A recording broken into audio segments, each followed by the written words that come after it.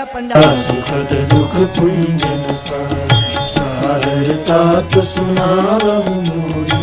बार बार मुकुर सुधारी। वर्णौ रघुवर विमल जस।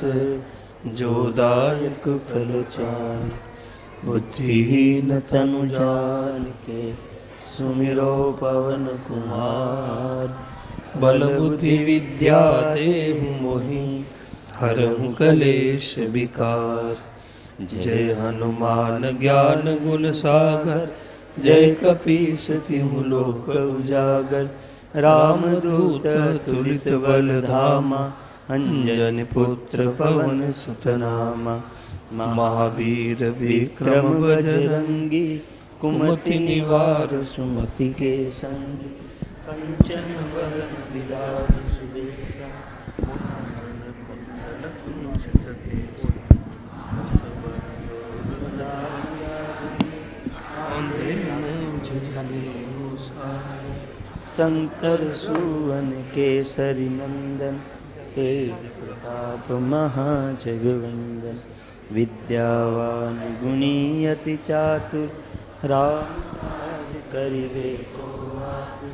प्रभु चरित्र सुनवे को रसिया राम बसिया सूक्ष्म रूप धरि सियहि दिखावा।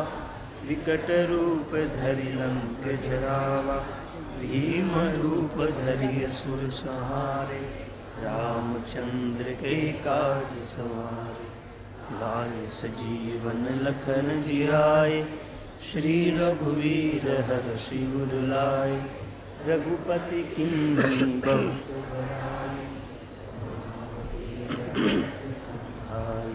सहस तुम्हरो जस गावे अस कही श्रीपति कंठ लगावे। सनकादिक ब्रह्मादि मुनीसा नारद सारद सहित अहिसा। यम कुबेर दिगपाल जहाँ ते कवि को विद कह सके कहाँ ते तुम उपकार सुग्रीव किन्हा, राम लाए राजपद दीन्हा। तुम्हारो मंत्र विभीषण वाना लंकेश्वर भय सब जग जाना। जुग सहस्र योजन मधुर फल जान प्रभु मुद्रिका मेरी कुमारी जल गए दुर्गम के जेते सुगम अनुग्रह तुम्हारे राम दुआरे तुम रखवारे हो तन आज्ञा पैसारे। सब सुख रहे तुम्हारी सरना तुम रक्षक काहू को डरना आपन तेज समारो आपे, तीनों लोक हाथ से कांपे। भूत पिशाच निकट नहीं आवे महावीर जब नाम सुनावे। सब पीरा, जपत निरंतर हनुमत वीरा। संकट से हनुमान छुड़ावे मन क्रम वचन ध्यान जो लावे। सब पर राम तपस्वी राजा तिनके काज सकल तुम साजा। और मनोरथ जो कोई लावे, सोई अमित जीवन फल पावे। चारों जुग पर ताप तुम्हारा हे पर सिद्ध जगत उजियारा साधु संत के तुम रखवारे, असुर निकंदन राम दुलारे अष्ट सिद्धि नवनिधि के दाता, असवर दीन जानकी माता। राम रसायन तुम्हारे पासा, सदा रहो रघुपति के दासा। तुम्हारे भजन राम को पावे, जन्म जन्म के दुख बिसरावे। अंत काल रघुवर पुर जाई, जहाँ जन्म हरि भक्त कहाई। और देवता चित्तन धरई, हनुमंत से सर्व सुख करई। संकट हरे मिटे सब पीरा जो सुमिरे हनुमंत बलवीरा। जय जय जय, हनुमान गोसाई। कृपा करो गुरुदेव की नाई। जो सतवार पाठ कर कोई, छूटे बंदी महासुख होई। जो यह पढ़े हनुमान चालीसा, होय सिद्धि सा गौरी सा तुलसीदास सदा हर फेरा की नाथ हृदय महरेरा पवन समय संकट हरन मंगल मूर्ति रूप। राम लखन सीता सहित हृदय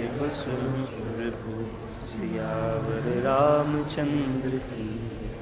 रघुवीर रामचंद्र पवन सुत हनुमान की जय। उमापति महादेव की बोलो भाई सब संतन की जय। जय। सिया राम।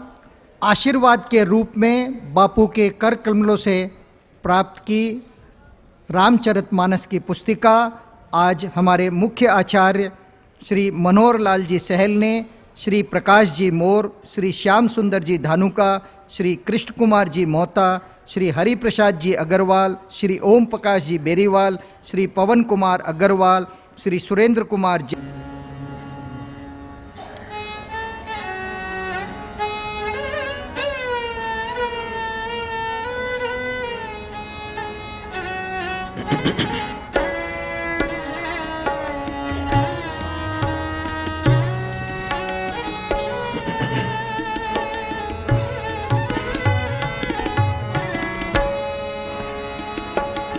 toprağını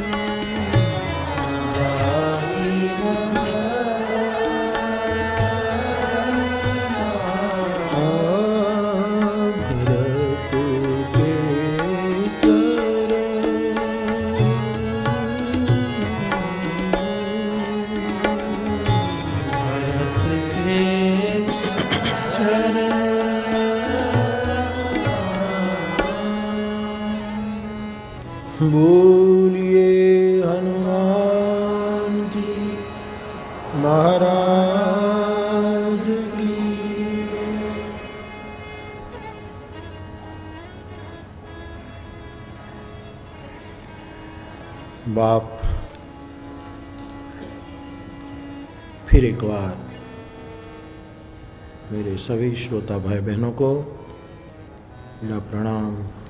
जय सिया राम भरत दर्शन हम कर रहे हैं।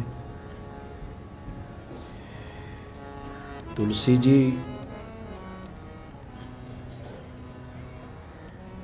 जानकी के चरण को कमल कहते हैं। जनक सुता जग जननी जानकी अतिशय प्रिय करुणा निधान की फिर लिखते हैं, ताके जुग पद कमल मनाव सीता के चरण कमल है। फिर भगवान राम के चरणों को भी कमल कहते हैं, पुनि मन वचन करम रघुनायक, चरण कमल बंदौ सबलायक फिर लक्ष्मण जी की वंदना करते हैं तो कहते हैं बंदौ लक्ष्मण पद जल जाता। कमल। शत्रुघ्न जी की वंदना करते हैं तो कहते हैं, रिपु सूदन पद कमल नमामि। प्रत्येक के चरण गोस्वामी जी को कमल दिखाई दिए बंदव गुरुपद पद्म परागा। बंदव गुरुपद कंज। लेकिन भरत की वंदना आई तो कमल शब्द नहीं जोड़ा। प्रणव प्रथम भरत के चरण, केवल चरण चरण कमल नहीं। हर जगह कमल कमल कमल कमल। श्री भरत जी के चरण को कमल नहीं कहा।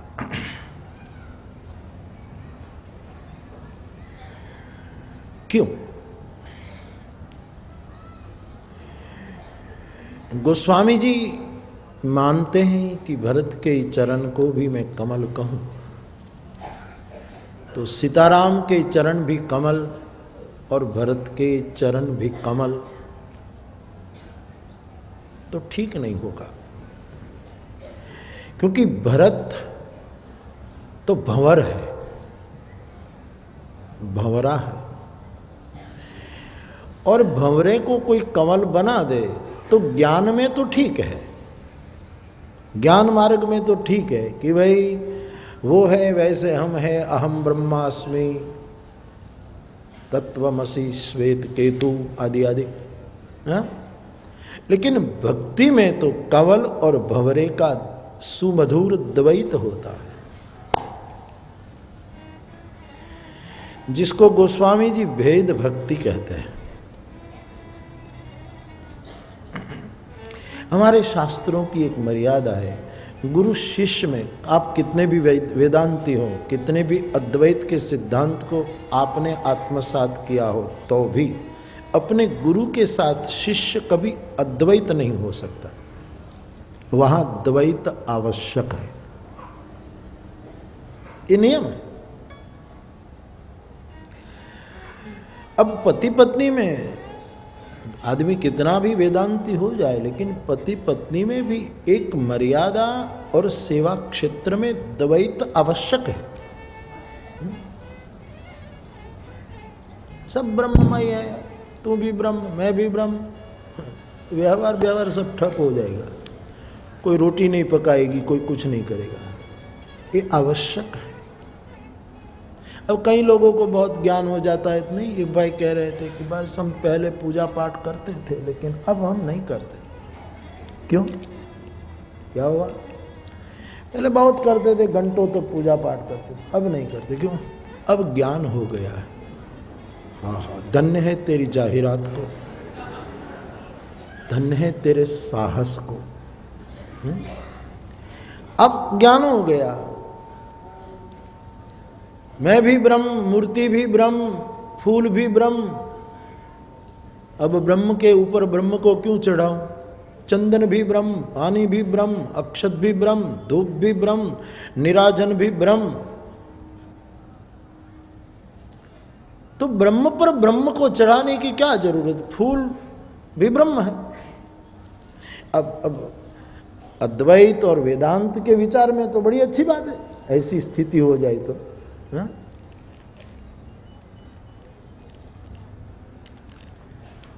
लेकिन व्यवहार में ये चरितार्थ होता है।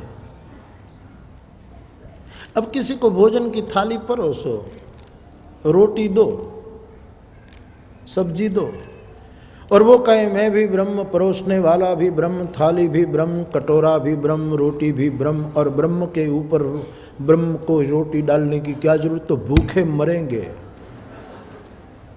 तो क्या होगा? रामचरितमानस के सिद्धांत सिद्धांत कहना भी मुझे ठीक नहीं लग रहा है। सार्वभौम सूत्र। सिद्धांत तो किसी न किसी मान्यता में आबद्ध होता है। सार्वभौम। गगन सदृशम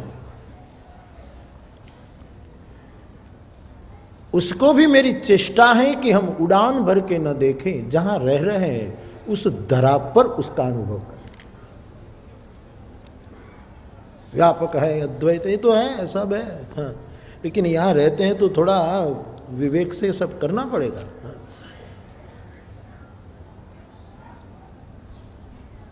तो भरत जी के चरण यदि कमल हो जाए और प्रभु के चरण भी कमल है तो भरत का जो भवरपना है उनका मन जो भंवर है, उसका क्या होगा? इसलिए राम चरण पंकज मन जासु, लुबुद मधुब एव तजय न पास। ऐसे भरत जी के चरणों की वंदना गोस्वामी जी ने प्रथम की। प्रेम मूर्ति भरत रामचरितमानस में निरा हमने जो राम जन्म मनाया तो एक निराकार ब्रह्म साकार हुआ। व्यापक व्यक्ति हुआ, सबका बाप किसी का बेटा हुआ। निज तंत्र थोड़ा आँगन में सीमित हो गया। द्रवंश दशरथ अजीर विहारी। लेकिन राम कथा में आपका ध्यान जाए, इसलिए कह रहा हूँ कि राम कथा में फिर राम के ही दो अवतार हुए। हम्म। ब्रह्म का अवतार तो राम है। लेकिन फिर राम के दो अवतार रामायण में हुए। एक तो मैं आपको कह चुका, राम प्रेम मूर्ति तनु आही। निराकार ब्रह्म का साकार रूप राम, लेकिन राम जो ब्रह्म है, उसका फिर एक अवतार हुआ भरत के। रूप में, प्रेमावतार, प्रेम के रूप में, और दूसरा राम का अवतार हुआ पादुका के रूप में। पादुका सीताराम जी का एक ही कल्प की कथा में, एक ही लीला में, लीला मध्य में एक दूसरा अवतार होगा ये बात रामायण से निकलती है। जब चित्रकूट की सभा में कोई निर्णय नहीं आ रहा था और आखिर में निर्णय हुआ तो भगवान ने एकदम पादुका भरत को दे दी भरत जी ने ऐसा कहा था कि मुझे कुछ अवलंब चाहिए, मुझे कोई आधार चाहिए, ताकि मैं, मुझे थोड़ा ठीक रहे तो भगवान ने, आधार में तो भगवान कुछ भी दे सकते थे कि वलकल वस्त्र दे देते, महबूब की हर चीज़ महबूब होती है, हा? कुछ भी दे देते। एक अपने निशंक से तीर निकाल कर दे देते किले कुछ भी दे देते। चलता, अपने हाथ से कुछ फूल लेकर दे देते। बात खत्म हो जाती। लेकिन भगवान ने तुलसी यहाँ शब्द प्रयोग करते। प्रभु करी कृपा। प्रभु ने कृपा की। और पावरी दिन ही। पादुका दी। और ये संवाद, वैसे जिस तरह मैं कहने जा रहा हूँ, वो सब तो रामायण में नहीं लिखा है। वो तो दो लाइन के बीच में होता है ना। अब भगवान को भरत जी ने पूछा कि आपने बड़ी कृपा की कि मुझे पादुका आपने दी। इससे तो बढ़िया कृपा क्या हो सकती है?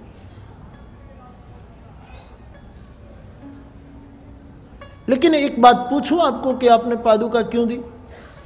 कुछ भी दे सकते थे और मेरे लिए आपकी कोई भी चीज़ आपके समान हो सकती थी।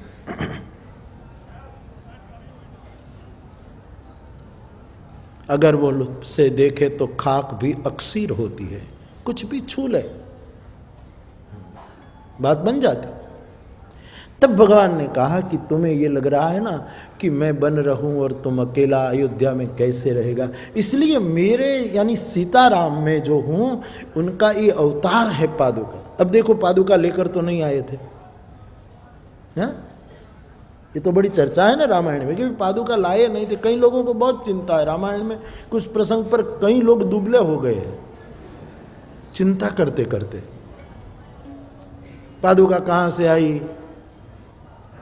कई कई माँ की तो आज्ञा थी, नंगे पैर बन में जाना, और तीनों तो नंगे पैर गए।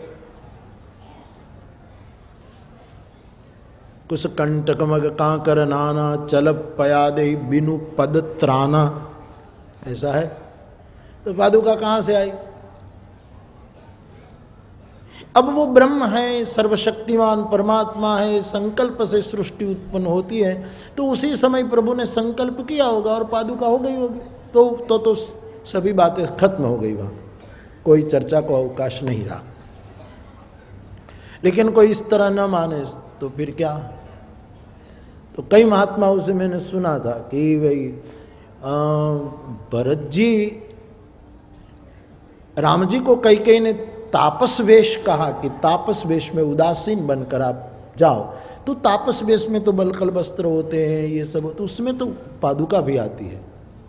तो भगवान राम ने साथ में ली थी, लेकिन पहनी नहीं। भगवान को पता था कि भरत आएगा, मुझे देनी पड़ेगी। इसलिए साथ में रखी होगी और आज वो दी, इसलिए आपको दुबले होने की ज़रूरत नहीं है। वो दे दी। तो ये भी प्रश्न होता है कि रखी कहाँ? कोई थैला झोला तो हाथ में था नहीं। तारा माथा ऊपर रखी थी। कहा रखी? तो ये प्रश्न और एक तर्क ऐसा भी आता है कि जब भरत जी पूरे अयोध्या को लेकर गए और वहाँ एक निर्णय हुआ था कि वन में ही राम को राज दे दे। तो राज्य, राज्याभिषेक की सभी सामग्री जो चाहिए, वो सब लेकर गए थे। और ये बहुत बड़ी अच्छी व्यवस्था थी देश में कि किसी राजा का राज्याभिषेक होता था ना, तब राज्याभिषेक के समय उसको पादुका, मालाएँ, कुछ ऐसे वस्त्र भी राज्याभिषेक के समय दिए जाते। इसके पीछे संकेत था कि कुछ साल तक तू राज कर, लेकिन चौथापन आ जाए तो यही पादुका पहनकर तू वानप्रस्थी हो जाना। ये पहले से ही कहा जाता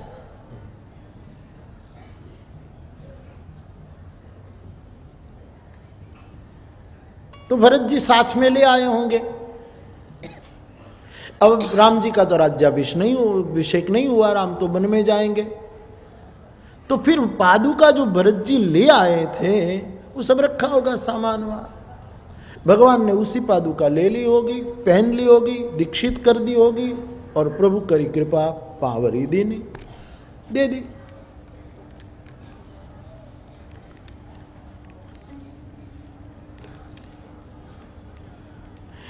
एक संत तो कहते हैं कि भगवान केवट की नौका में बैठकर गंगा पार किया ना, उसके बाद ये जो नौका वाली लकड़ी थी ने, उनमें से एक टुकड़ा निकाल कर दो पादुकाएँ बनाई गई थी और भगवान को भेजी गई थी। एक ऐसा भी अभिप्राय संत लोग कहते हैं।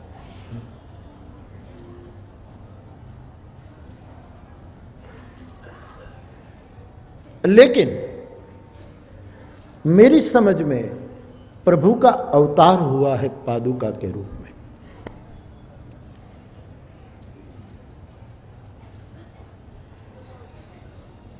तो भगवान ने कहा, भरत, मैं इसलिए पादुका देता हूँ कि ये मैं और सीता ही हैं।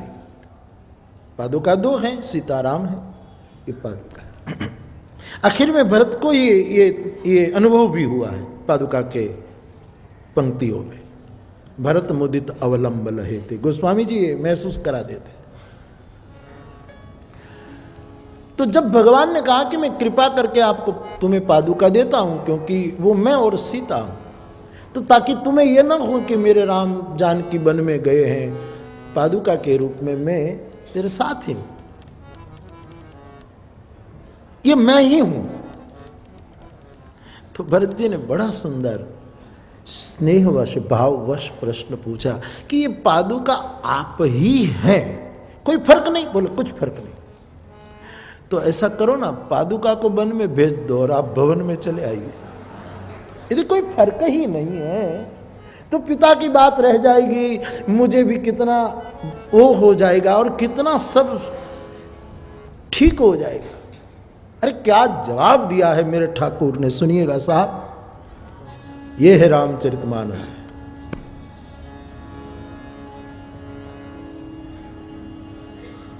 भरत, मेरी भी यही इच्छा थी कि पादुका यदि मैं हूँ, मैं यदि पादुका है, पादुका मैं हूँ और पादुका मैं हूँ, मैं पादुका हूँ, कोई भेद नहीं है तो। और ईश्वर तो सम होता है, वहाँ तो भेद होता ही नहीं। समोहम सर्वभूतेषु समोहम समो कल शंकराचार्य भगवान का निर्वाण अष्टक की हम चर्चा कर सदा में समत्वम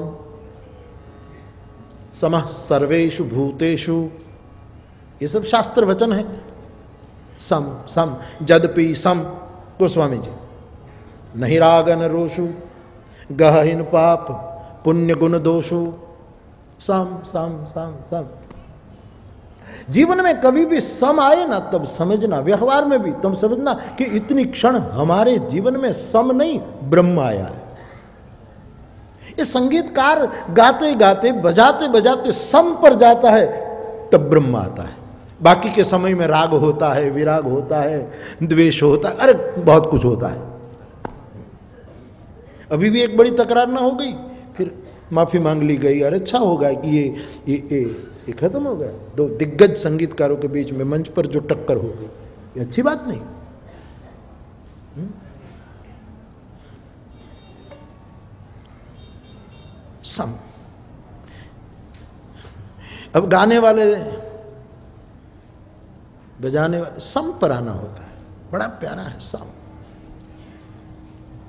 अब बोले गाए ना तो आरो अवरो सब होता है, ऊंचाई में बोले थोड़ा नीचे हो जाए।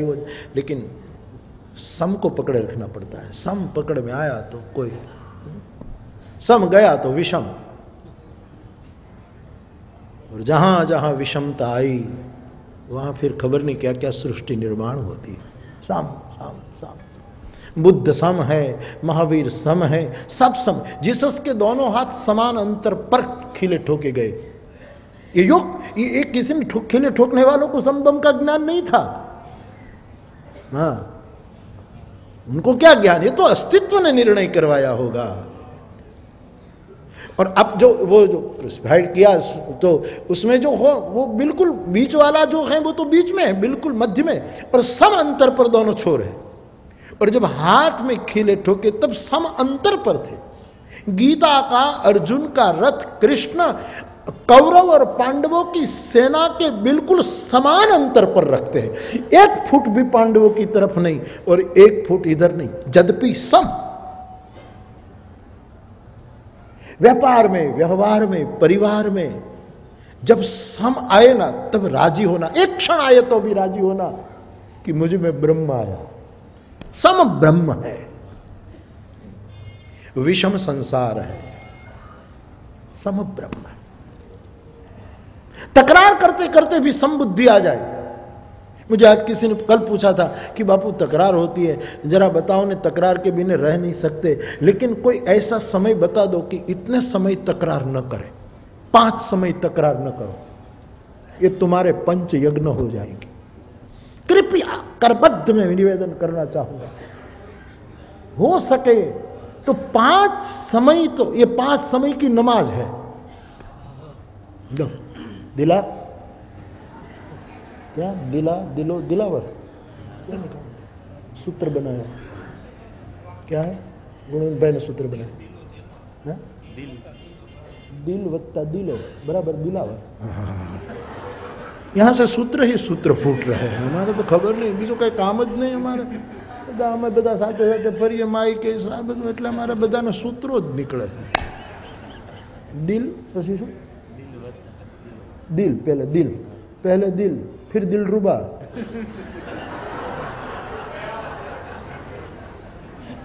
बजाओ बजाओ वो बजाओ।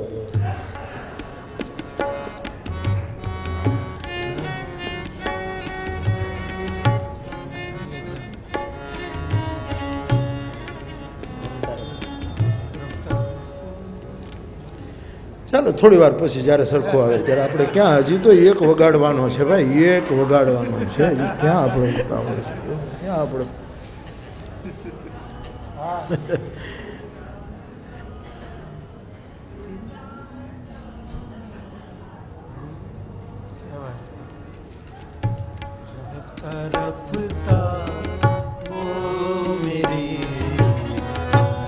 ધન્યવાદ, શોભિતભાઈ, ધન્યવાદ.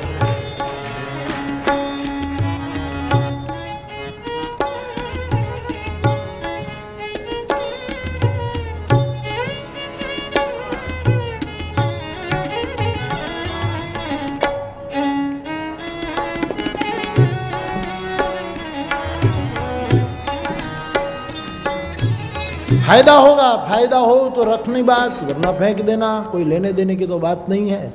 ये धर्म वाणिज्यम तो नहीं है। हाँ? आपके जीवन में ये बात, खास करके युवान भाई बहनों को तो खास कहूँ, बात यदि दिल तक पहुँचे तो सोचना, जल्दी भी मत करना। पाँच समय तकरार करनी ही नहीं, पाँच समय का मतलब मैं छूट नहीं देता हूँ कि फिर करते रहो। ऐसा मतलब गलत न करें। लेकिन कम से कम जिसमें विवेक है सत्संग से, उनको तो पाँच समय तकरार करनी ही नहीं चाहिए। एक, सुबह में कभी तकरार मत करो कुछ भी हो जाए, दुनिया जल जाए जल जाए। सुबह में मत कर लखनऊ का नवाब अपनी वो छड़ी लेकर मॉर्निंग वॉक करने निकला है एक तो लखनऊ, वो नवाबी ठाठ वो उनकी जो एक नवाबी सब अदाएँ होती हैं हैं? इतने में एक नौकर आया और कहा कि आपका मकान जल रहा है ऐसे ही मुस्कुराता हो जा रहा है बस छड़ी वही मोजड़ी नवाबी वो नवाबी ठाठ थोड़ा मुस्कुराए मुख में पान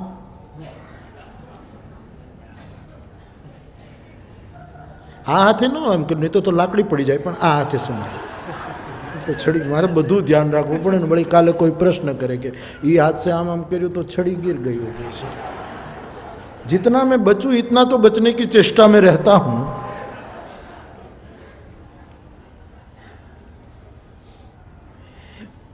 नौकर ने कहा कि आपने सुना कि नहीं मेरी बात? फिर भी अनसुनी वही मुस्कुरा वही। एक युवान ने आज मुझे लिखा है कि, बापू, मैं कथा से तीन ही बात सीखा हूँ। क्या आप इससे राज़ी हैं? इंग्लिश में लिखा है, यानी लिपि अंग्रेज़ी है, लेकिन मैं समझ पाऊँ इसलिए हिंदी में लिखा है।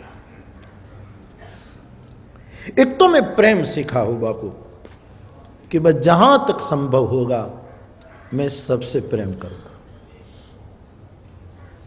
दूसरी बात, जब तक मैं जागता रहूँगा, सबको मिलता रहूँगा, सबके साथ स्माइल करूँगा, मुस्कुराऊँगा। और तीसरी बात लिखी, मुझसे जितना होगा, मैं सब पर करुणा करूँगा। सदगुरु की करुणा पाकर। ये अच्छी बात, ये तो कथा सफल हो गई। बस और करना भी क्या? है हाँ। बात खत्म हो गई, इससे क्या करना ज़्यादा? हो गई बात। सबसे प्रेम करना, सबसे मुस्कुराते रहना और सब पर करुणा करते रहना, इससे बड़ी कौन उपलब्धि है? ये बड़ा अच्छा निर्णय।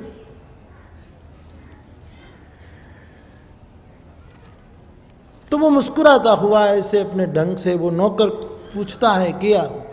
एक दो कमरे तो जल गए आप लौटिए ना, तब उसने कहा कि अब इतनी दूर आ चुका हूँ कि पहुंचूँगा तब तक तो पूरा जल जाएगा।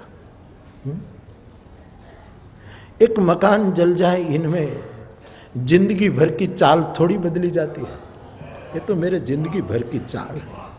बस बस, उसके जनक त्रेता युग में ही पैदा नहीं होते। जनक तो कभी कभी हर युग में पैदा हो जाते हैं। और जनक को कोई कौम और धर्म का भेद नहीं होता, वो तो एक सम के रूप में प्रकट होता है। ये सम, कुछ भी हो। बहुत कठिन। हमारा सम कैसा है?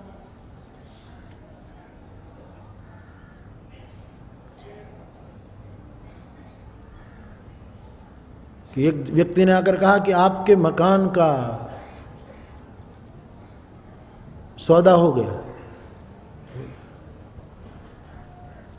खुश हो गया। बात कर। और फिर मकान जला। तो और खुश हुआ कि अब तो सौदा हो गया, अपना कहाँ जल रहा, इसका जल रहा। इतने में बेटे ने आकर कहा कि सौदा विफल हुआ। तो फिर सिर पीटने लगा। हमारा सम लड़खड़ा जाता है। हुँ? तो पाँच नमाज़ करना।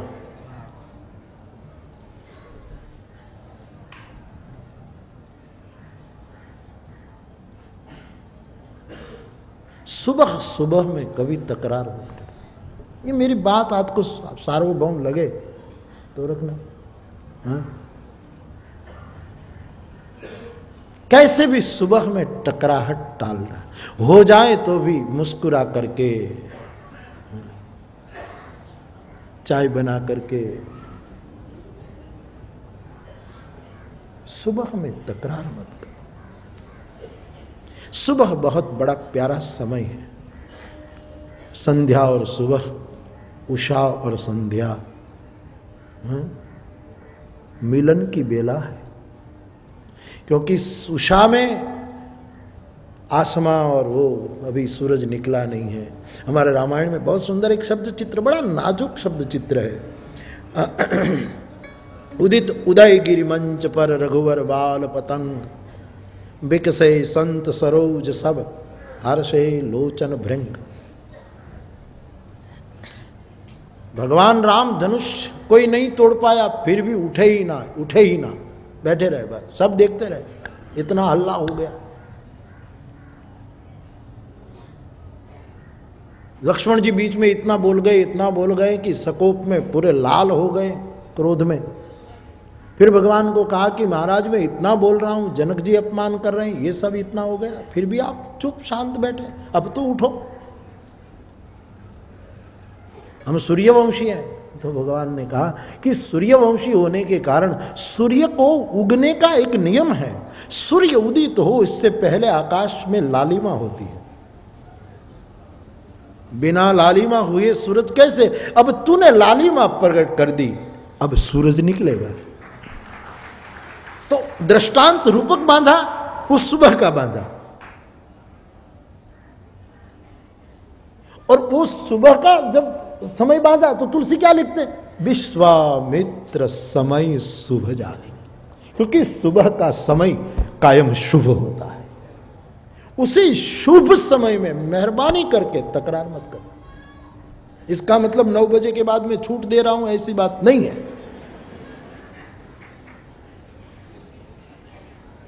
लेकिन 24 घंटों लड़ते रहे, कम से कम ये पाँच नमाज़ पढ़े।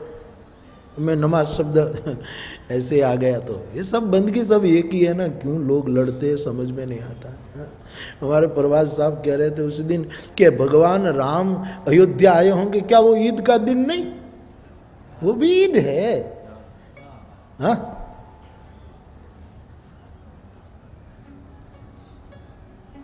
जहाँ मिलन हो, जहाँ कोई आ रहा है, जहाँ प्राप्ति है, क्या फ़र्क पड़ता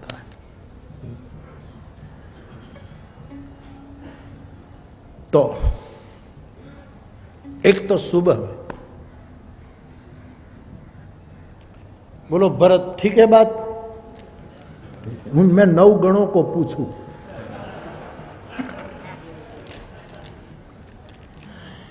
नवगण मुझे तो नवगणों का नाम भी रखना है। बहुत अच्छा। ये नव युवान। बोले बापू हमको हर हर वक्त कथा देना, बस कोई कारण नहीं, कोई हेतु नहीं। और जब शुभ हेतु होता है तो ये नवो व्यक्ति फिर समर्पण भी कर देते हैं कि दूर दराज हमारे गरीब भाई बहन रहते हैं, उनकी शिक्षा की कुछ व्यवस्था हो, सभ्यता बनी रहे, विचार टूटे ना, कोई प्रलोभन देकर उनको भय और प्रलोभनों से वो न करे। इसलिए एक जो काम हो रहा है तो ऐसे शुभ हेतु के लिए फिर वो लोग समर्पण भी कर देते हैं कि चलो अच्छा है, आप, आपके लिए ये हो। तो सुबह में तकरार मत करना। सुबह सुबह में नहीं, बस। यदि हो जाए, शुरू हो जाए तो फिर चाय पी लेना, कोई गीत गुनगुना देना।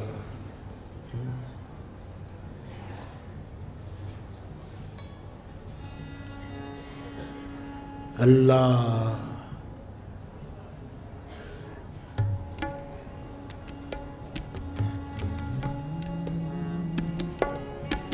ये अदा कैसी है इन हसीनों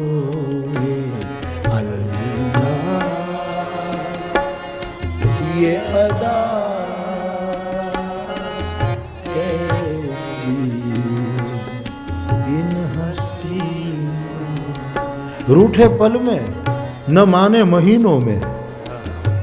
रूठे पल में, एक पल में रूठ जाए, पर मनाने में महीने लग जाए, उसने सुबह को काल रात्रि बना दिया। रूठे पल में, न माने महीनों में।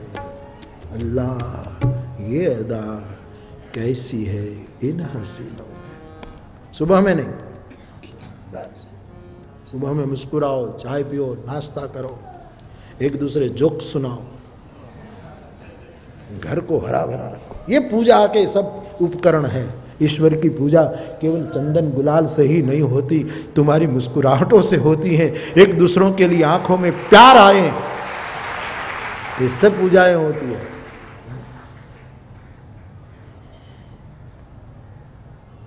विश्वामित्र समय सुभजान। हाँ।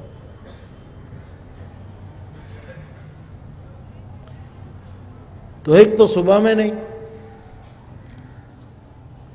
दूसरा, यदि आप पूजा करते हैं, स्वाध्याय करते हैं, भजन करते हैं, कुछ भी आप करते हैं, ध्यान करते जो करते हो तो आपके भजन साधन पूजा पाठ यदि करते हो ध्यान कर जो भी करते हो ऐसे समय में कभी चित्त में क्रोध मत रखना।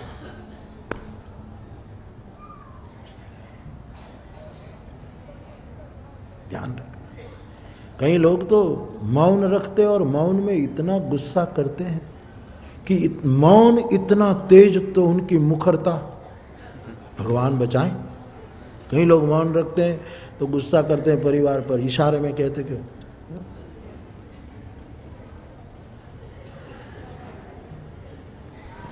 कल देखना, वो ऐसा कहते कल देखना। आज ही दिखाई दिया, कल क्या होगा, अभी से पता लग गया कि अभी जो ये है कल क्या होगा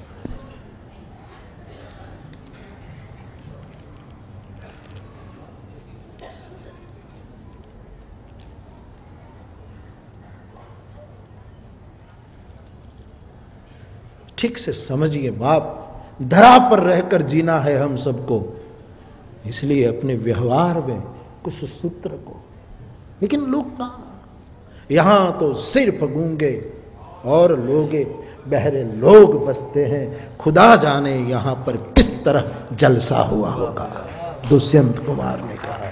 कहते बहुत मज़ा आया, बहुत। लेकिन यहाँ तो सिर्फ़ गूँगे और बहरे लोग हैं। भगवान जाने कैसे जलसा हुआ होगा?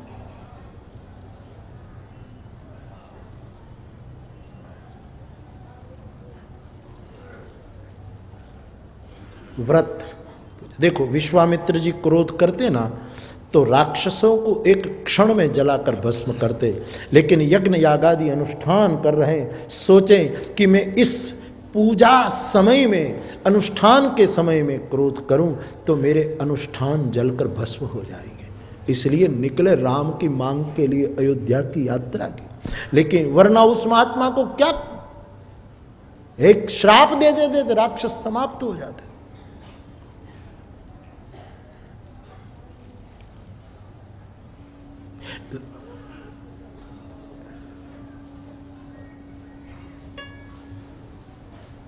जब मारीच और सुबाहु को मारा गया ना, तब इस पक्ष से क्रोध नहीं हुआ, क्योंकि यज्ञ चल रहा था। क्रोध तो इन लोगों ने किया, सुन मारीच निशाचर को ही ले सहाय धावा मुनि द्रोही। क्रोध वहीं से है। यहाँ तो प्रात काल उठ के सुबह में भगवान ने कहा कि बस निर्भय यज्ञ करो, तुम जाओ अब जाकर यज्ञ करो, नहीं आने दिया तकरार। हर हर रामायण का समय पकड़िए। रामायण का एक टाइम टेबल है। उस टाइम टेबल को जो पकड़ लेता है, वो साधक बन जाता है। रिस्ट घड़ी रखो, जेब में रखो, लेकिन आपकी जोली में छोटा सा रामचरित मानस होगा ना, वो एक ऐसी घड़ी है कि समय समय पर आपको जगाएगा कि तेरा नौ बज गया, तेरा बारह बज गया तेरा ये समय हो गया। आपको जागरूक रखेगा रामायण। अरे कभी रामचरित मानस या गीता या तो कोई भी सदग्रंथ, या तो कोई भी, मैं तो वहाँ तक कहता हूँ, कोई अच्छा साहित्यिक ग्रंथ। जिसमें अच्छी अच्छी कविताएँ हो, श्लोक हो, मंत्र हो, कोई भी। कभी प्रयोग तो करो, सीने पे रखकर सो, वो सपने भी अच्छे आएँगे। कभी प्रयोग तो करो सपने अच्छे आएँगे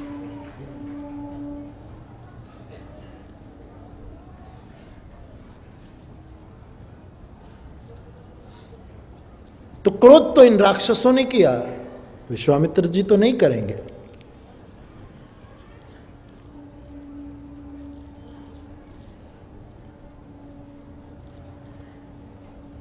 सुनिताड़ का क्रोध ये सामने पक्ष से सब क्रोध के मंडान है रामायण में।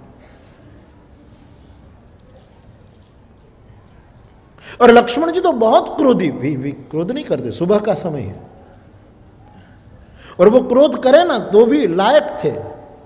अब अब राम जी ने क्या किया यज्ञ में और लक्ष्मण जी? राम ने तो दौड़ राक्षस को मारा डेढ़ को मारा है। खाली डेढ़ को मारा है विश्वामित्र एक तो सुबाहु को पूरा मारा। और उसको अधमुआ करके फेंक दिया। डेढ़ राक्षस राम ने मारा। अनुज निशाचर कटक संहार। छोटे भाई ने तो पूरा राक्षसों का संहार कर दिया। फिर भी कोई क्रोध नहीं कोई तकरार नहीं। गति की बात है। डेढ़ मारे उन्होंने डेढ़ सौ मारे। हाँ, लगन बहुत अद्भुत है। हाँ। लखन न हो तो राम जी अधूरे हो जाए। भरत के बिना राम चले, लक्ष्मण के। ठीक मेरे देश की मनीषाओं ने किया, हर मंदिर में राम के दाइनी और लक्ष्मण को खड़ा करना पड़ा इस देश को। क्योंकि जैसे वृंदावन में कहा जाता, बिना राधे शाम आधे। राधे शाम इसी सूत्र के सम्मान में एक ठुमका हो जाए।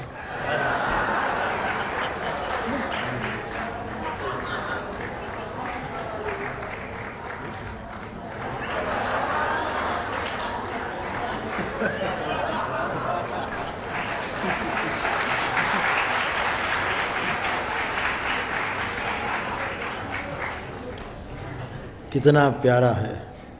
उनका नाचना, उनका जो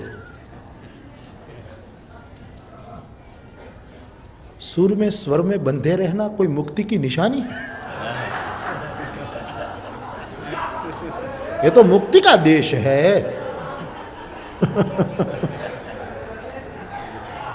बहुत अच्छा बाप, बहुत अच्छा। ऐसे सहज रहना बड़ा मुश्किल है।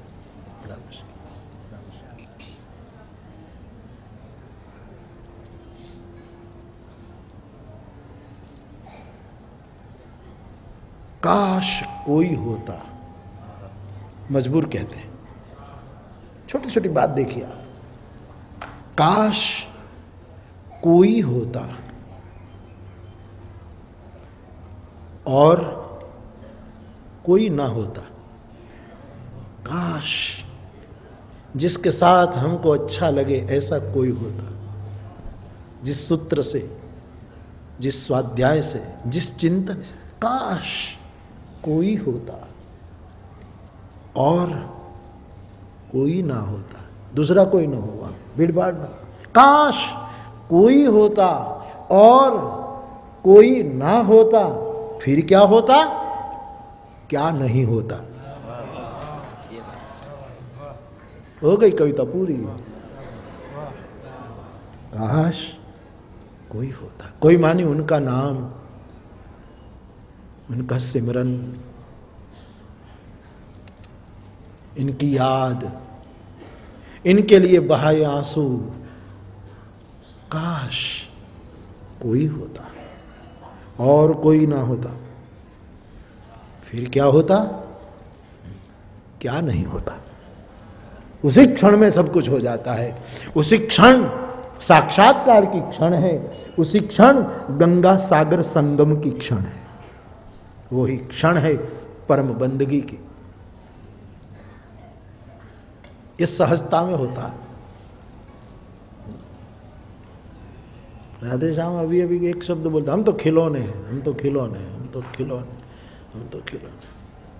अच्छी बात है। सब खिलौने हैं। उमा, दारू जो शित की नाई सब ही नचावत। राम गोसाई, सब उनकी दारों के खिलौने हैं और वो सूत्रधार हम सबको नचा रहा है। उसी में आनंद है। ये ज़िंदगी आपको नहीं लगता? मैं तो गद गद हूँ, फूले नहीं समारो। ये मानव जीवन कितना अद्भुत मिला है। फिर भी आदमी तकरारों में बिता दे तो अभागा है। अभागा। कितना सुंदर जीवन। दाता ने क्या नहीं दी? दिया। आँख दी और वो भी इधर दी। यहाँ देते तो आप उनका अस्तित्व की व्यवस्था को तो आदर दो, सलाम तो करो। इस अस्तित्व के निर्णय को यहाँ दिया, यहाँ देते तो।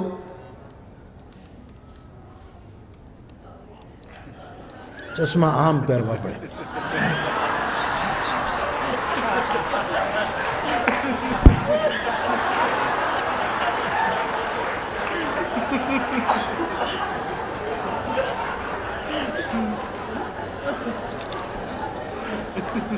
आप देखिए कितने अभद्र लगते कढंगे लगते कैसे कैसे विकलांग हो जाते हैं। क्या सुंदरता दी है ठाकुर ईश्वर सौंदर्य प्रिय है। ईश्वर को सौंदर्य, जहाँ भी सुंदरता देखो ना हाँ कामना मत करो, शिकार दृष्टि मत रखो, लेकिन जहाँ भी सौंदर्य देखो, वहाँ ब्रह्म उतर रहा है। गीता का विभूति योग तो पढ़िए। जहाँ कुछ अच्छाई दिखे, अर्जुन, वो मैं हूँ। किसी में तेज देखो तो व्यक्ति को मत देखो, मुझे देखो। किसी में विद्या देखो तो व्यक्ति को मत देखो, मुझे देखो। किसी में रूप देखो तो वो मैं हूँ। और हम क्या, रूप देखे, तेज देखे तो ईर्षा करते हैं या तो शिकार करते हैं? आँखें शिकारी नहीं होनी चाहिए, आँखें पुजारी होनी चाहिए। हमारी आँखें शिकारी हैं। पुजारिन बन जाए। आँखें।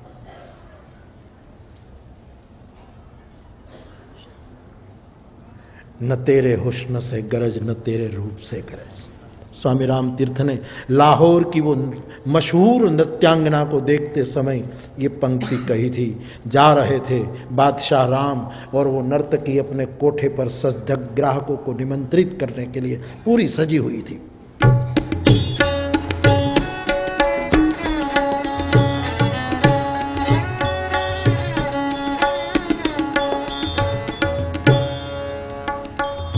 भगत सिंह की माँ और नर्तकी का जो भेद था कर। यहाँ पंद्रह बीस लोग या पंद्रह हज़ार लोग।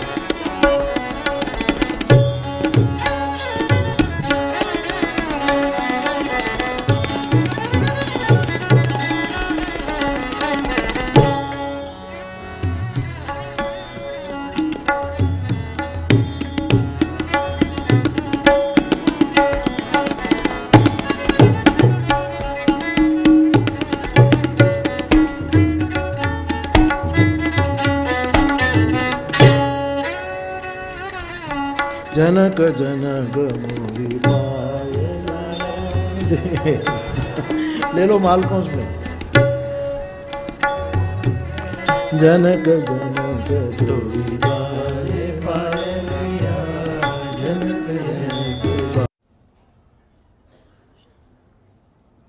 न तेरे हुस्न से गरज न तेरे रूप से गरज स्वामी राम तीर्थ ने लाहौर की वो मशहूर नृत्यांगना को देखते समय ये पंक्ति कही थी। जा रहे थे बादशाह राम और वो नर्तकी अपने कोठे पर सजग ग्राहकों को निमंत्रित करने के लिए पूरी सजी हुई थी।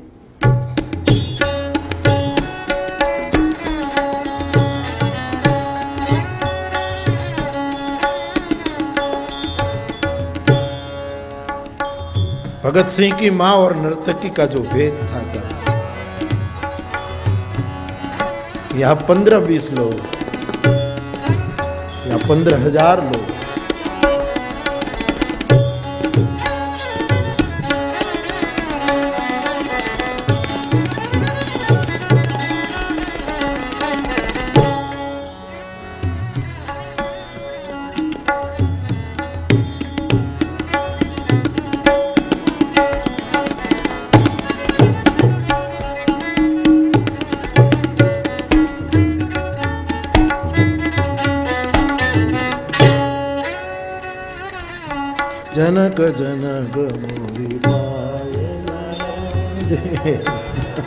ले लो मालकों में?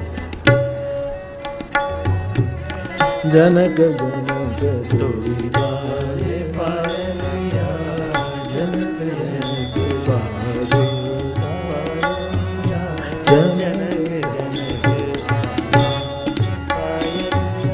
घूंघरू बाँध मीरा।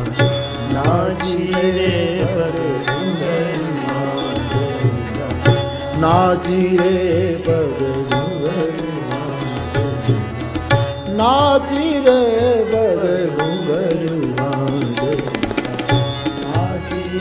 तैयार। सच दस के तैयार हुई थी नर्तकी। और बादशाह राम वहाँ से निकले। देखते रह गए। ठाढ़े से रह गए। अनिमेश, एक साधु पुरुष, गेरुए कपड़े पहने हैं। और एक जगत को मोहित करने वाली अपना जो उनका इच्छा था वो, उनके सामने बस। भय थकित जिम चंद्र चकोरा। और साधु की निगाह सहन करना बहुत कठिन होता है। हाँ विकारी की निगाह कोई भी सहन कर ले, लेकिन जिनकी आँखों में उपासना होती, इन आँखों के सामने नज़रें मिलाना बहुत मुश्किल पड़ता है। तो कुछ देर तक बाबा देखते रहे तो उनका सिर नीचे हो गया। और फिर नर्तकी ने कहा कि बाबा, रास्ता भूल गए आप। आपको तो संन्यास आश्रम जाना चाहिए। आप कहा? जोगी, जाओ रे। ये तो प्रेम की है नगरी। यहाँ कहा आ गए तुम? यहाँ तो प्रेम ही है पूजा। और मेरे रूप को इस तरह देखते हैं, वो सर सर कलम हो जाते हैं। तब एकदम सावधान होकर मुस्कुरा दो यार न तेरे उष्ण से गरज, न तेरे रूप से गरज। मैं तो परमात्मा की कलम देखता हूँ कि कितना सुंदर चित्र निर्माण किया सर कलम की कौन चिंता करे? मैं तो गोविंद की वो वो पीछे देख रहा हूँ कि क्या रंग पूरा है तुरे में क्या रूप है जहाँ भी शुभ तत्व हो, वहाँ प्रभु है। बस ये भूलना मत।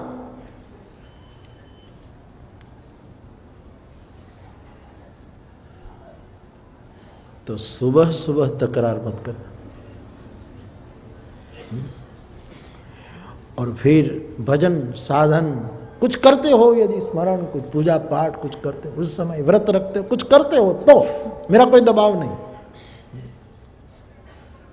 सबसे श्रेष्ठ तो साधना यह है कि कुछ न किया जाए, होने दिया जाए। कुछ भी न किया जाए, वो सर्वश्रेष्ठ साधना है। जो होता है, वो होने दिया जाए।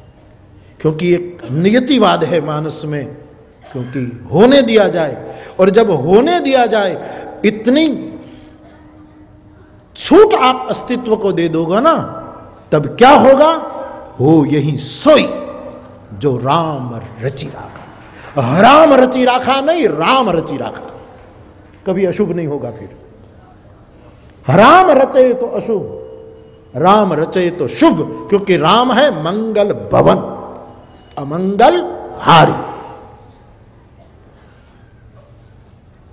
यह तुलसी का नियतिवाद राम किन्न चाहे सो। होई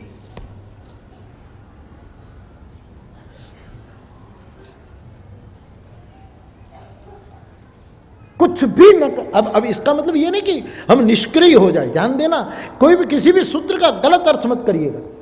कोई फिर ये सोचे कि लो बापू ने कह दिया कुछ नहीं करना तो पूजा न करे पाठ न करे माँ बाप को प्रणाम न करे मर्यादा न निभाए ये न करे ये न करे। ऐसा गलत अर्थ। ये सब ज़रूरी भी है। विवेक से जितना हो करो। लेकिन सर्वोत्तम सिद्ध, ये जो जो सार्वभौम बात है, उसमें तो यही ही है कि कुछ भी न करना, होने देना।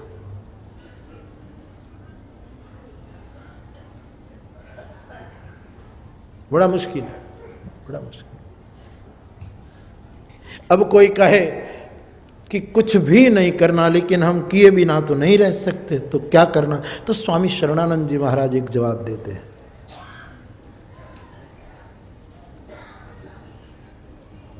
तो दो काम करना। सबसे उत्तम तो यह है कि कुछ नहीं करना, लेकिन करना ही पड़े तो दो काम, ध्यान रखना। क्या? बुराई न करना, जितनी हो सके इतनी भलाई करना।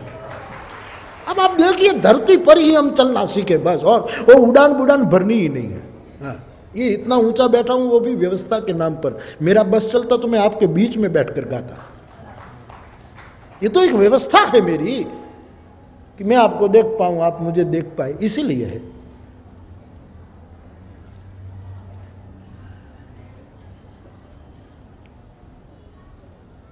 जहाँ है इतना, इस सौ साल जो हमारी एक बात है कि सौ साल की आयु, इसमें जितने साल हो, इतनी साल की एक छोटी सी उम्र में थोड़े सूत्र समझ जाए ना तो आदमी कितना आनंदित रह सकता बड़ा बड़ा आनंद में जिया जा सकता है। हाँ।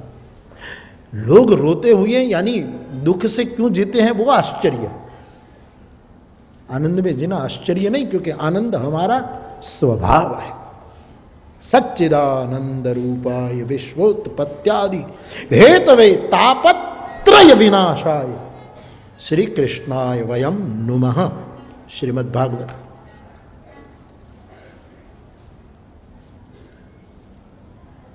बन सकती है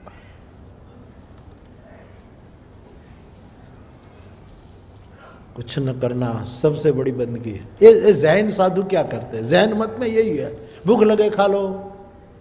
नींद आए सो जाओ। सहज, बिल्कुल। पूरी जो जैन परंपरा आई बुद्ध से और जापान ने जिसको ज़्यादा स्वीकार कर लिया, जैन परंपरा। यदि करना ही पड़े तो दो बात ध्यान रखे, बुराई न करे, भलाई करे। स्वामी शरणानंद जी आगे कहते हैं, भलाई करने का अहंकार न करें। कितने एक एक, जैसे बच्चे को हम हम हम सिखाते हैं चलना हाँ? जैसे जैसे हाथ पकड़कर बच्चों को सिखाते हैं, गिर न जाए, उसको आनंद आए, हमको आनंद आए, और वो चलना स्वतंत्र सीख जाए। क्या बेटा बड़ा हो जाए, फिर भी बाप, माँ बाप के हे पापा, पगली कर, ले बेटा बीस बीस साल का हो गया, फिर तब भी ये धंधा करना, नहीं? उसको स्वतंत्र रूप में चलाने के, मेरे देश के सदगुरुओं ने चलन गाड़ियाँ पकड़वाई है। कि लो बेटा, चल, साधक, चल चल चल चल। और जब चलना सीख जाता है, तब दूर खड़े खड़े तालियाँ, अरे, मेरा बेटा सीख गया, मेरा बेटा चलना अब पदीपो भवा। अब तू तेरे पैर से चल, तेरे विवेक के प्रकाश में तेरी राह तक अपदीपो भव तुलसी लिखते हैं, ये सब बीज तुलसी के। सोहमस्मी इति वृत्ति अखंडा, दीप शिखा सोई परम प्रचंड।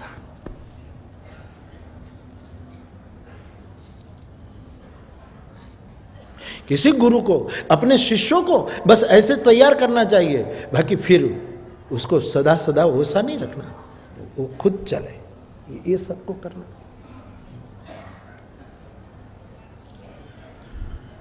तो धरा पर की सब बात है। कुछ भी न करना सबसे बड़ी साधना।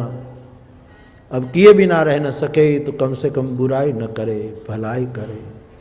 और भलाई करें तो इसका अभिमान न करे। और इससे भी मुझे बहुत बड़ा अच्छा लग रहा है कि भलाई करें और अभिमान तो न करें, चलो। लेकिन की हुई भलाई से दूसरों की स्वाधीनता खतरे में हो जाए, ऐसा मत करना। दूसरा स्वाधीन हो। तुमने भलाई की और बेचारा ज़िंदगी भर आभारवश रहे और उनकी स्वाधीनता टूट जाए तो तुम्हारी भलाई गंगा जल में कुछ शराब के बुंद मिल गए। रहा तो गंगा जल, लेकिन कुछ बुंद ज़रूर अंदर गिर गए, शराब के।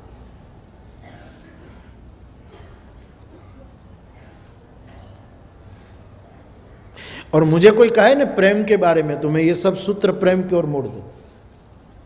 प्रेम में कुछ करना नहीं होता। प्यार में कर, आज मुझे पूछा गया, प्यार और प्रेम में अंतर, मेरी समझ में तीन तीन है, प्यार, प्रीति, प्रेम। त्रिकोण है। प्यार किया जाता, प्रेम किया नहीं जाता। अब प्यार, प्रीति, प्रेम हम समान अर्थ में लगा दे तो कोई आपत्ति भी नहीं है। लेकिन जिसने दिल से कुछ महसूस किया है, उनकी अनुभूतियाँ उसका विश्लेषण कर सकती हैं, पृथककरण कर सकती है। प्यार उसको कहते हैं जो किया जाए। जो उड़े, उगे, जो उगा जाए। कभी कभी अचानक आदमी को बस प्यार फुटाए, प्यार का एक क्षेत्र है। प्रीति उसी को व्यासपीठ कहेगी कि जो प्यार प्रकट हुआ है, उसका फैलाव होना। एक दूसरों में इस प्रीति का प्रवाह बढ़ना, वो प्यार बढ़े, उसको प्रीति है। कैसे? एक दृष्टांत देकर आप सोचे प्यार है, जैसे एक बीज से वृक्ष का पौधा निकला, वृक्ष हुआ। और प्रीत है वृक्ष का फैलाव। फिर छाव में, अब जब तक वो बीज था, तब तक हमको उसकी सुरक्षा करनी पड़ती थी। कि उसको ज़्यादा धूप न लगे, ज़्यादा पानी न हो जाए, कोई बकरा उसको चर न जाए, ये सब ध्यान रखना पड़ता था। लेकिन जब एक बड़ा बरगद का पेड़ हो जाता है, तब वो शतकों को आश्रय देने लगता है। उनकी छाव में लोग विश्राम करते हैं। फैलाओ, सब नर कर ही परस्पर प्रीत। ये फैलाओ सबकी ओर सबकी ओर। प्यार प्रकट हुआ, सब और फैला वो प्रीति। तो प्रेम क्या है? प्रेम तो वो आसमा है, जहाँ सब उठते हैं, फैलते हैं, और आसमा बिल्कुल निर्लेप और निर्मल सबको संभाले हुए हैं। उसी का नाम है। इसलिए प्रेम शब्द को इधर उधर जल्दी यूज़ मत करना। प्यार लगा देना। हमको आपसे प्यार है, मम्मा को, मम्मी से, पप्पा को, मम्मी से मम्मी से, पप्पा को। प्यार है, ये अच्छा है, प्यार है। प्रेम नहीं। प्रेम तो आकाश है। अंतिम शब्द। उनमें ही तो ये सब चल रहा है। प्रेम रूपी गगन में पृथ्वी है, पृथ्वी में कोई वृक्ष निकलता है, फिर फैलता है, उनके फल होते हैं। ये सब प्यार प्रीति का संसार, प्यार प्यार प्रीति का ये सब नर्तन है, लेकिन प्रेम है बहुत असीम आकाश। इसमें सब होता है। जिसको रामायण परम प्रेम कहता है, पूर्ण प्रेम की संज्ञा देते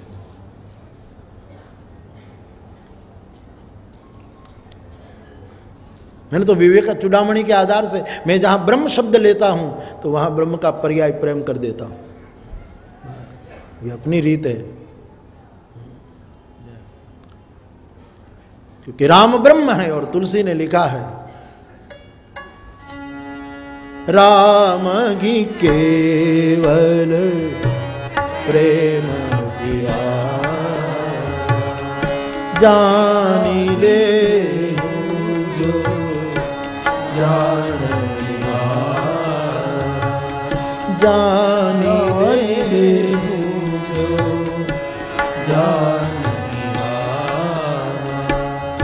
मेरे मन में जहाँ ब्रह्म शब्द है, उनका पर्याय प्रेम बन जाता है। बस। ब्रह्म आकाश तो प्रेम आकाश ब्रह्म समुद्र तो प्रेम समुद्र ब्रह्म अगाध तो प्रेम अगाध जो साथ साथ सूत्र में विवेक चुड़ामणि से आपकी सेवा में रख रहा था। शंकराचार्य कहते, आकाशवत निर्मलम।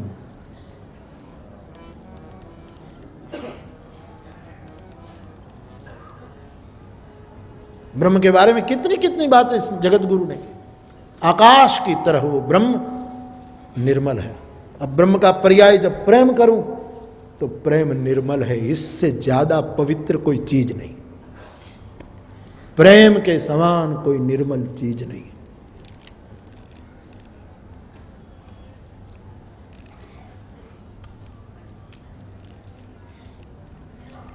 निर्लेप, आकाश निर्लेप दूसरा सूत्र। और मेरी व्यासपीठ को अर्थ करना है तो मैं कहूँ, प्रेम निर्लेप है। निर्लेप, प्रेम।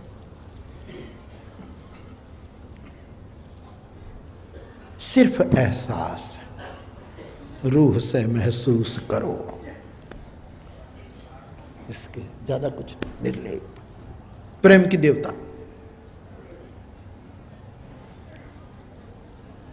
तीसरा शब्द शंकराचार्य भगवान कहते हैं, निसीम।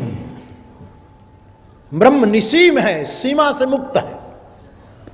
हा। प्रेम कोई सीमा में आबद्ध नहीं होता। सीमा से मुक्त है प्रेम। जानकी के नुपुर के कनक बिंदु भरत जी ने श्रृंगवेरपुर की, सिसंप तरु की भूमि के नीचे जब भरत जी ने देखा, रात्रि में सबको सो गए, राम को मिलने जाते हैं और गुह का हाथ पकड़कर कहते हैं कि, भगवान, तेरे यहाँ रात्रि रुके थे, वो कौन जगह? तो वो शिशंप तरु के नीचे ले जाता है। वहाँ वो कुश साथरी देखी और जानकी के कनक बिंदु देखे तो भरत को जानकी दिखने लगी। निस्सीम प्रेम हो जाता कनक बिंदु में सीता के दर्शन हो देखत सामल धवल हिलोरे, पुलक शरीर भरत कर जोरे। गंगा जी का शाम जल देखा तो राम दिखाई देने लगे। जमुना जी का गौर जल में भरत को लक्ष्मण दिखाई देने लगे। निसीम प्रेम सीमा से मुक्त होता है। शंकराचार्य महाराज एक चौथा शब्द यूज़ करते हैं निष्पंद प्रेम निश्चल हो, निश्चल होता है निष्पंद उसमें कोई स्पंदन नहीं, कुछ समय हुआ, फिर नहीं हुआ, फिर नहीं हुआ, फिर नहीं हुआ। प्रेम में हो सकता है सब। अभी अभी पौधा पनप रहा प्रेम तो पूर्ण होता है, उसमें कुछ समय हुआ, फिर तकरार, फिर ये फिर ये प्रेम में नहीं होता। हाँ। प्रेम शब्द हम यूज़ कर लेते हैं। हमारे गुजराती में तो कहते हैं लोग शुरुआत में कहते हैं love love love I love you मुझे तो समझ में नहीं आता कि जिसके आगे आई हो और पीछे यू हो, उसके बीच लव रह कैसे सकता होगा? जहाँ मैं और तू का भेद, वहाँ लव कैसे रह सकता आई मानी मैं यू मानी तू। जहाँ इतना द्वैत, वहाँ पूर्ण प्रेम कैसे और मेरी ये बात सुनकर विदेश के कई भाई बहन किसी को लिखते हैं आई लव यू लिखते लगे लेकिन आई पर चौकड़ी कर देते हैं यू पर चौकड़ी कर देते हैं केवल लव ही रखते हैं बस वही मौलिक है प्रेम प्रेम गुजराती में तो कहते हैं शुरुआत में लोग को लव करे પછી આખી જિંદગી લવ લવ કરે લવ લવ કરે यानी बोल बोल तकरार रोज पहले करे हम लव करते हैं लव करते हैं अमेरिका में आ, मैंने कहा कि भाई ये बहन लोग अपने पति को तू तू करती है। ठीक है सबको जैसी जिसकी जैसी जिसकी मौज। लेकिन हम पुराने लोग रहे तो देहात में रहे तो जरा पति को पत्नी तू कहे तो जरा जरा ऐसा बाकी किसको मैं मना नहीं कर रहा ये भी ठीक है अच्छी बात। मैं तो पहली बार अमेरिका जब गया तब एक बहन ने अपने पति को तू कहकर बोला सुना तू, इधर आ तो।, तो। मैंने सोचा कि भांजा होगा, निकला भरथा मुझे लगा कि भांजा को बुला रही होगी। ए, तू आ तो नीचे आ तो तू। मैंने कहा, भांजा होगा। यहाँ तो निकलो भरतार जो काम से तार काम मैंने क्या बोला उधर, हूँ काम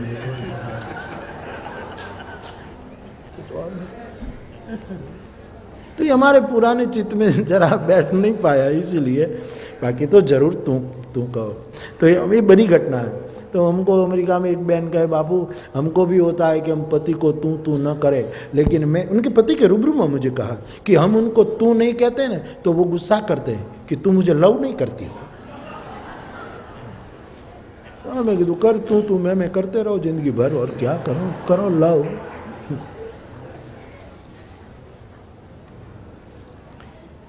निस्सीम। सीमा ना हो प्रेम में। प्यार प्रीति की सरहदें हो सकती हैं। प्रेम निस्सीम, निस्पंद, स्पंदन नहीं, उतर चढ़ाव नहीं। कभी हुआ, कभी ये कभी ये कभी ये कभी ये कभी ये क्या? है?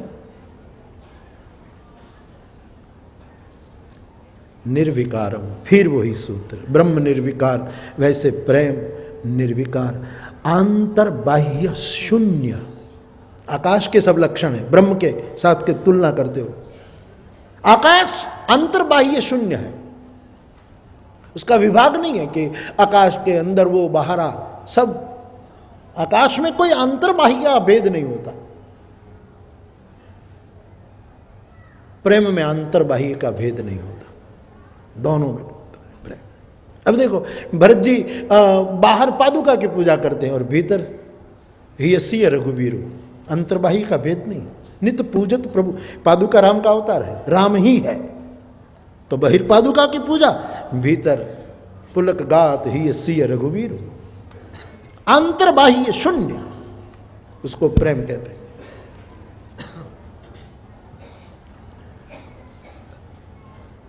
अनन्य। अनन्य होता है। फिर अद्वयम शब्द ब्रह्म के लिए शंकराचार्य। तो ये सब सूत्र मेरी समझ में प्रेम में लगते प्रेम ऐसा है। ऐसा प्रेम यदि किसी से करो ना तो उनकी कभी बुराई न करो। जिससे प्रेम करो, उनकी बुराई न करो। और बुराई न करो तो भलाई करो। और भलाई करो तो भलाई का अहंकार न करो। अब शरणानंद जी के सूत्र उधर घुमा दो। भलाई करो। और किसी प्रेमी की भलाई करो ना तो फिर कभी इस भलाई का अहंकार मत करो। और मैंने भलाई की ऐसी परतंत्रता उसको न दो, उसको स्वाधीन बनाए रखो। उनके स्वातंत्र को आदर दो। प्रेम का कोई हक न मांगो। प्रेम में हक मांगना वो प्रेम के हक में नहीं है। हा? प्रेम का किसी से हक मांगना वो प्रेम के हक में कभी नहीं है। ये बहुत गलत मार्ग प्रेम हक नहीं मांग, व्यवहार मांगेगा, दुनिया की स्वार्थीली जबानें मांगेगी, प्रेम कभी हक मांगेगा। प्रेम देवता के हक में एक बात ठहरती नहीं। प्रेम किसी से करो तो बुराई न करो, भलाई करो। भलाई करो तो भलाई का अहंकार न करो और जिससे प्रेम करो उसको स्वाधीन रखो, उसको परतंत्र मत करो। तुम पत्नी होगी तो पति को वश करोगी परतंत्र, लेकिन तुम प्रेमी है तो कभी जिससे प्रेम करोगे उसको वश नहीं करोगे।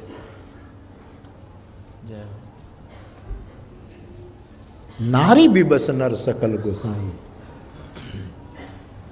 लेकिन जो प्रेम करेगा, स्वाधीन छोड़ेगा। ये अच्छा शब्द है स्वाधीन, शरणानंद जी महाराज, स्वाधीन। जिसके प्रति प्रेम है, उससे हक न मांगो, उसको स्वाधीन रखो और उनके प्रति उदार रहो। उनके प्रति उदार रहो। शायद वो कोई भूल कर दे तो उदारता से उनके प्रति औदार्य रखो। प्रेम। उदार हो। ये सब प्रेम सूत्र है। मेरे अनुभव में जो आ रहा है, सो कह रहा हूँ। आप परखना, परखंदा। गुजराती में लिखा है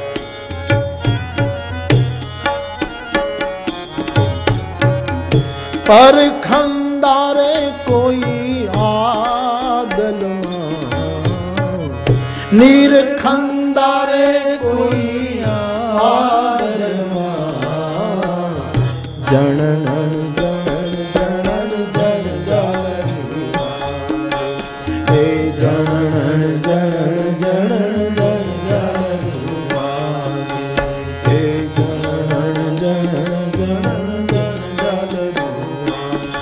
अभिप्राय इतना बाप।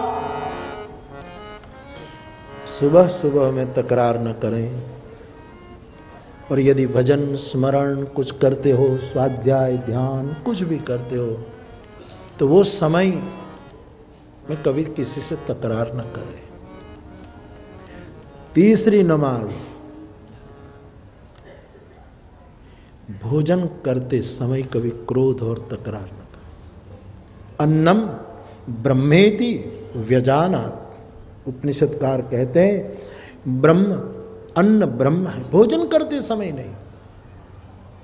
भोजन का समय होना, इससे पहले सब हिसाब किताब करके खाली हो जाओ। भोजन के समय लोग तकरार करते, सुबह में तकरार करते, पूजा पाठ करते समय तकरार। तो तुम, ये ज़िंदगी का अर्थ क्या है? हा? क्या अर्थ है भोजन के समय तकरार भजन के समय नहीं सुबह के समय नहीं भोजन के समय રાંધેલા પડ્યા રહે ગુજરાતીમાં કહે રાંધેલા પડ્યા રહે बनाई रसोई रह जाती है क्योंकि तकरार तकरार तकरार क्या जिंदगी है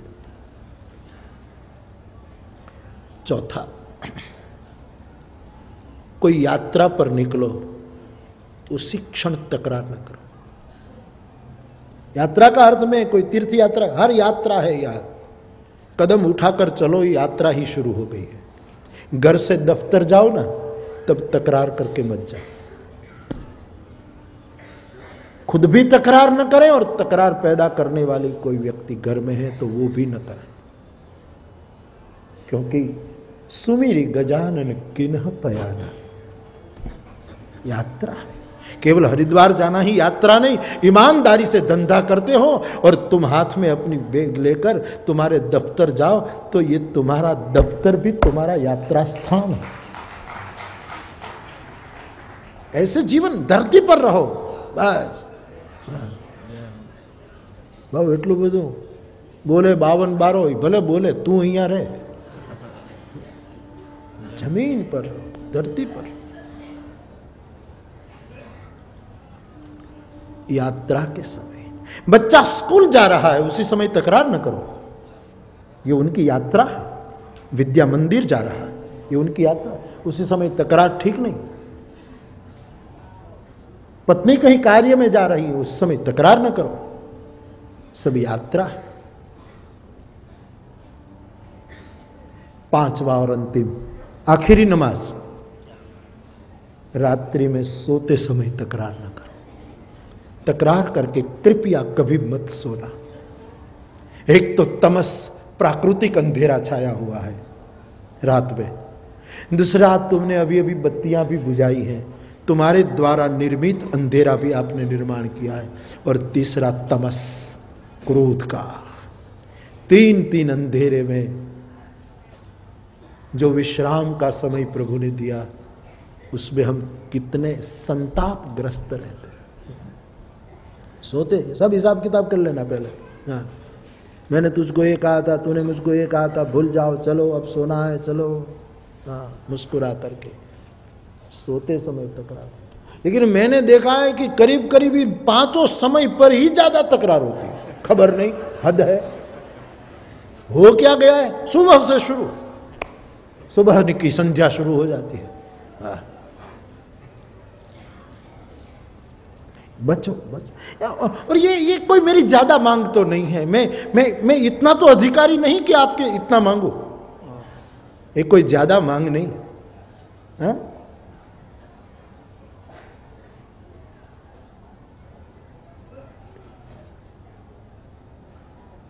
पैंतालीस सालों से मैं लोगों के सामने बोल रहा हूँ।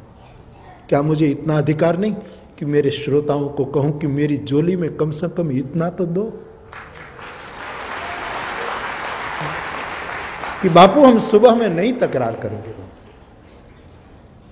हम भजन के समय नहीं तकरार, शुद्ध हृदय से करेंगे। हम भोजन के समय कभी क्रोध नहीं करेंगे। हम कभी कोई कहीं जाता होगा, उस क्षण तकरार करके अपशुकन नहीं देंगे उसको।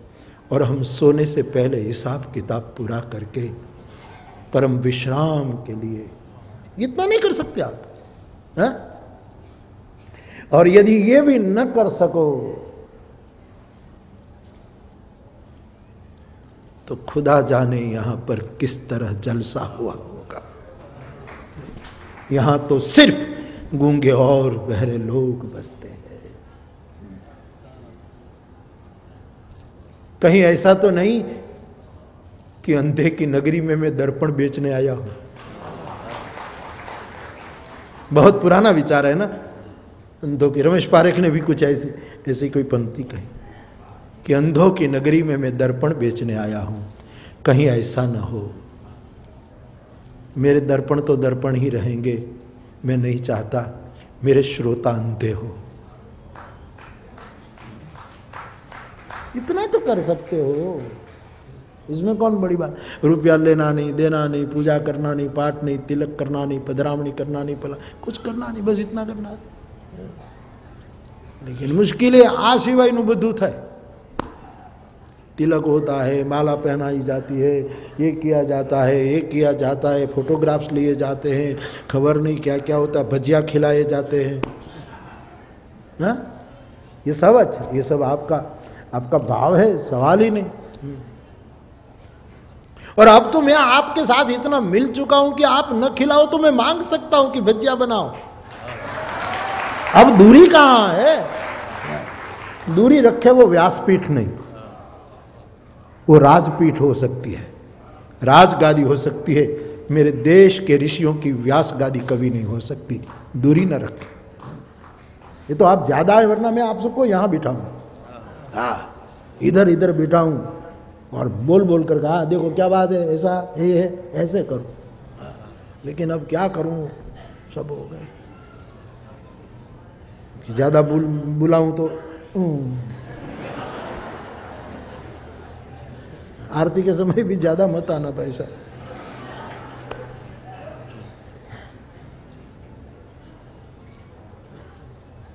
बोलो रमेश मैंने जो पांच बात कही ठीक लग रही है हाँ बिल्कुल ठीक है हाँ महाजन કેમ લાગે છે बराबर છે हमारा जो नित्य श्रोता जो है, उनको पूछूँ मैं। बहुत सुनते हैं कथा। सुनते हैं। कथा में प्रेम है ना, तभी तो सुनते हैं। कभी जगह मिले, न मिले, व्यवस्था हो, न हो, अपमान हो, फिर भी सुने जा रहे हैं। इतनी सालों से सुनते जा रहे हैं। बहुत अच्छा है। दमा, दम दम, दमा, दम। बिरुदान भाई के।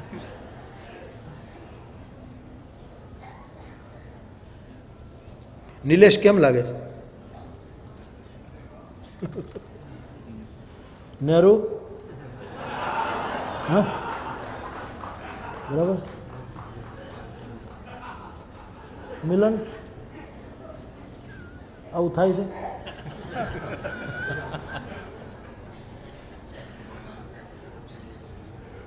ગુણવંત વાવડિયા ક્યાં ગયા છે હકાનત મારે કાંઈ પૂછવાનું હોય નહીં કારણ કે એ તો બિચારો બધું કે બસ બાબુ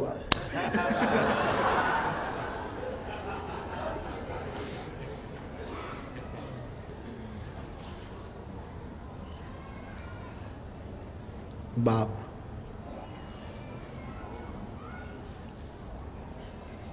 ये पांच बंदगी है यदि हम कर सके मैं तो आपके प्रति ममता के कारण कहे जा रहा हूं जो धरा पर की बातें समझे, उसको सोचे।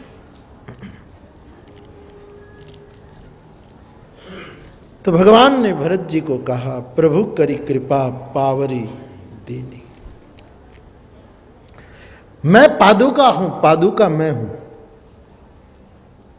तो भरत जी ने कहा तो प्रभु, पादुका बन जाए, आप भवन चलो। पिता की आज्ञा भी रह जाएगी और बात घटना घट गट जाएगी। क्या अद्भुत जवाब दिया है मेरे ठाकुर ने। जवाब सुनिए प्रभु का। प्रभु ने कहा कि भरत, जो काम करना है, वहाँ पादुका जाएगी तो काम नहीं होगा।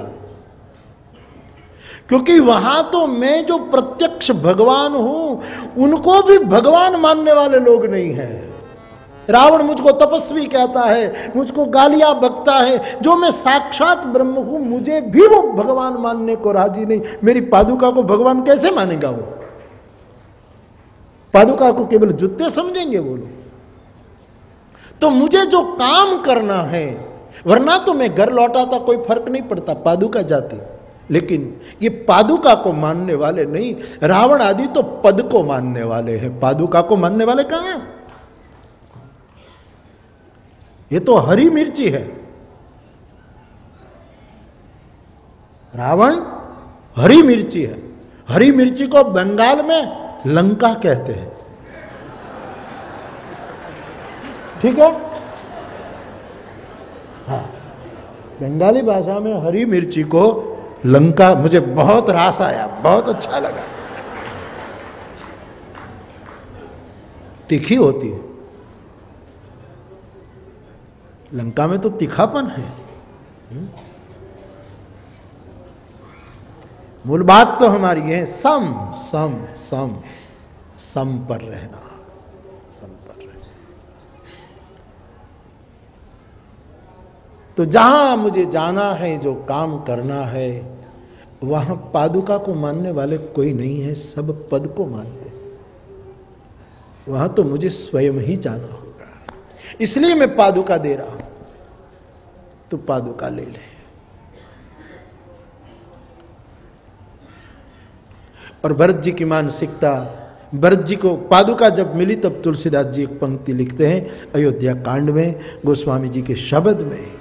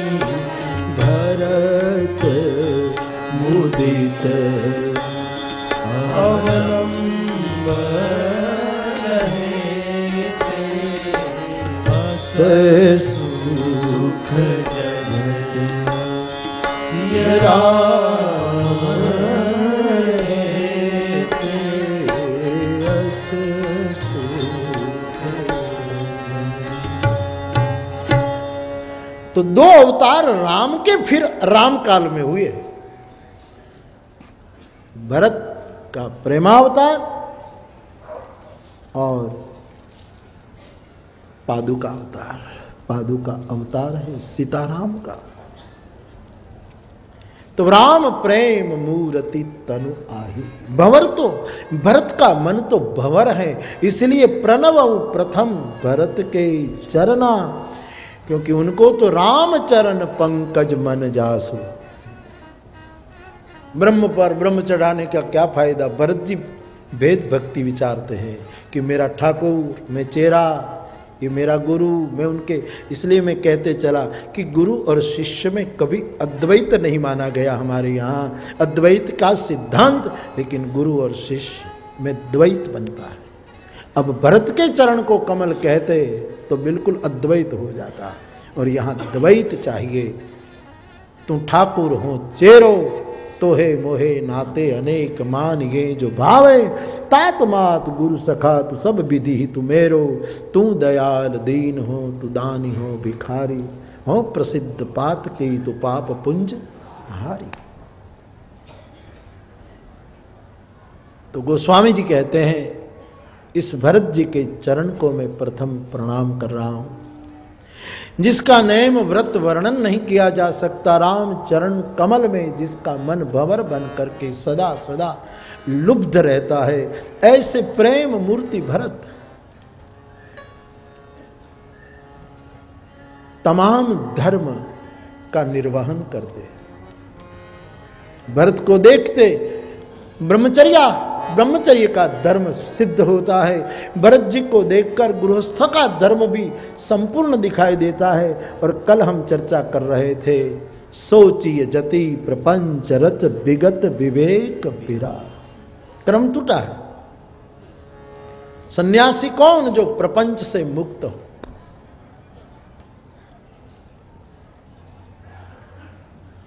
मैं कल हमारे कथाकारों को मिल रहा था, कथाकार भाई बहनों को बातें कर रहा था। तो सब व्यवस्थापक उसको कह रहे थे कि, बापू की कथा में से आपको अच्छा क्या लगा? बोलो। उसको क्या अच्छा क्या? तो मैंने कहा कि अच्छा लगा वो तो बोला, लेकिन आपको अच्छा नहीं लगा, वो भी बोलना ताकि मैं सुधार करूँ। हाँ ताकि मैं भी सोचूं। तेरे मेरे हाथ में पत्थर, मैं भी सोचूं, तू भी सोच। तेरे मेरे शीशे के घर। मैं भी सोचूं, तू भी सोच। लोकसभा में माधव सिंह सोलंकी ने ये शेर कहा मिनिस्टर थे। तेरे मेरे शीशे के घर, मैं भी सोचूं, तू भी सोच। तेरे मेरे हाथ में पत्थर, मैं भी सोचूं तो वो तो कहे, नहीं, वो तो स्वाभाविक है कि कुछ बोले नहीं, लेकिन हमारे स्वामी जी महाराज थे। बोले बाबू आ, एक हमको अच्छा नहीं। विनोद में कह रहे थे, बड़े प्रसन्नता से। स्वामी जी के, एक वस्तु तो हमको अच्छा नहीं लगी। बोले, क्या दो दिन से आप भगवे कपड़े पर जो प्रहार कर रहे हैं मेहरबानी करो ना आप मुझे। बड़े प्रेम से कह रहे थे। वो मेरा, मेरे कहने का सुर तो समझ ही रहे कि मैं मैं कोई आलोचना के रूप में नहीं कहता। भगवे कपड़ों के प्रति मेरी आँखों में कितना सम्मान है, वो तो कोई मेरी आँखों से जाके तो पता लगे आपकी आँखों से नहीं पता, कोई मेरी आँखों से देखे तो समझे कि तुम मेरे क्या हो, तुम मेरे क्या। लो गाओ कहते हो तो गाओ। चलो, गाओ, लो। नेहरू, तू गा, नेहरू माई का गा। तू गा। सुरमा गा हाँ गीत गा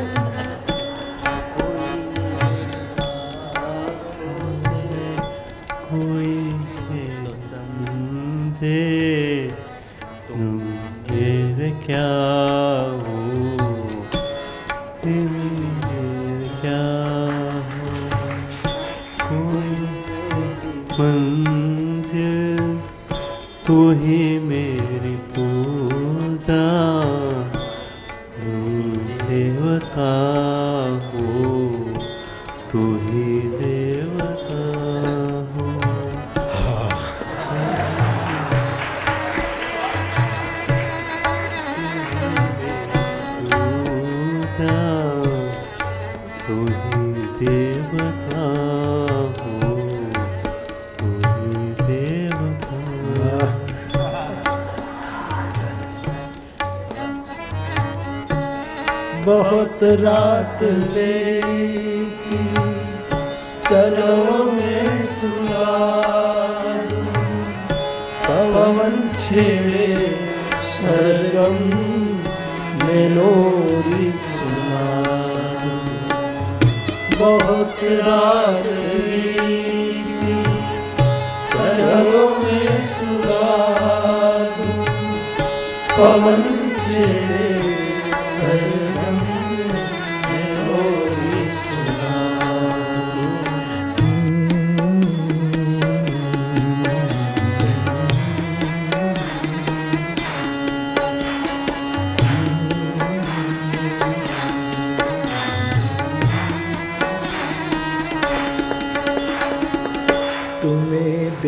देख कर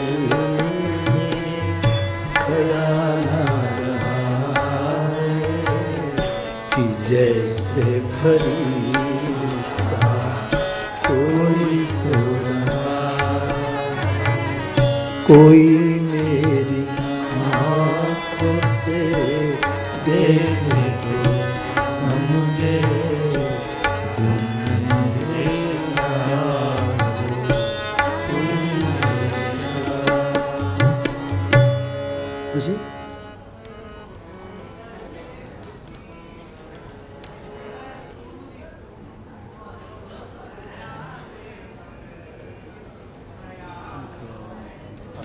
जिधर देखती उधर तुम ही तुम हो, न जाने मगर मगर किस ख्यालों में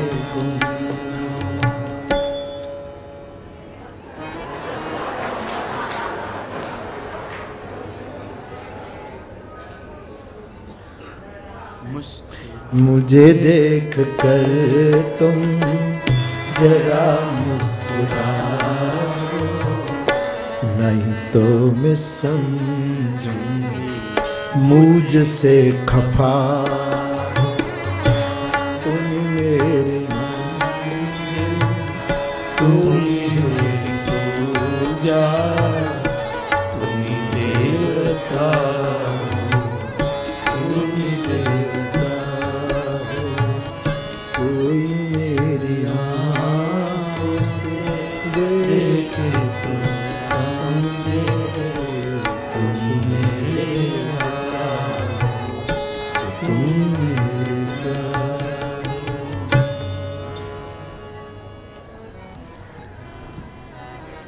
कल कह रहे थे कि बाबू बस हँसते हँसते अच्छे मुस्कुराहट के साथ कह रहे थे कि बस भगवे कपड़े पर आप जो कह रहे हैं ना वो जरा मेरे सुर को समझते हैं।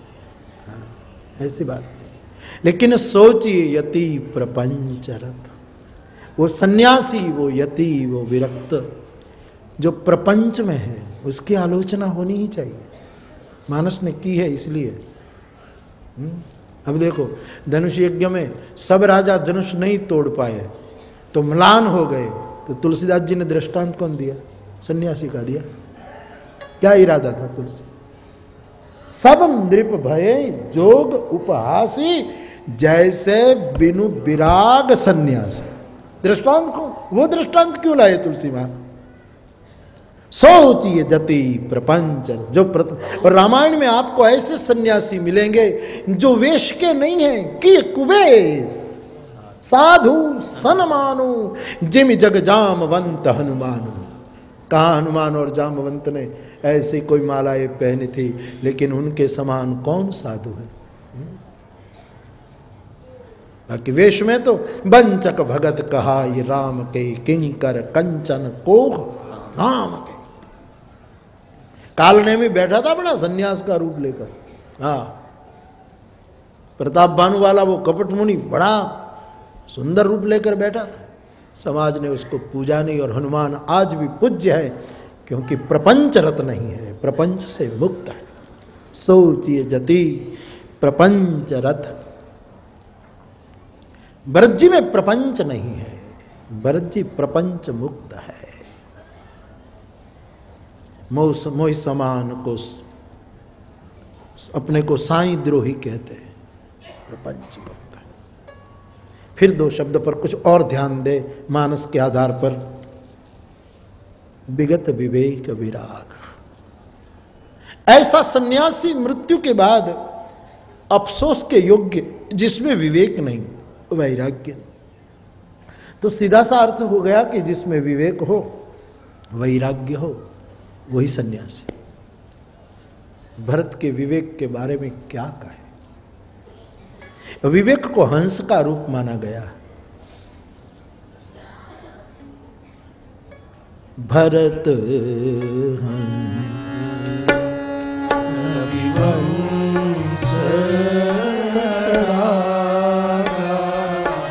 भरत हंस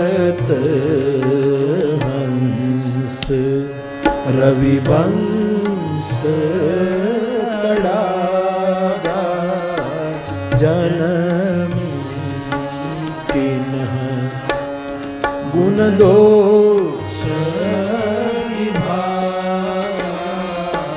भरत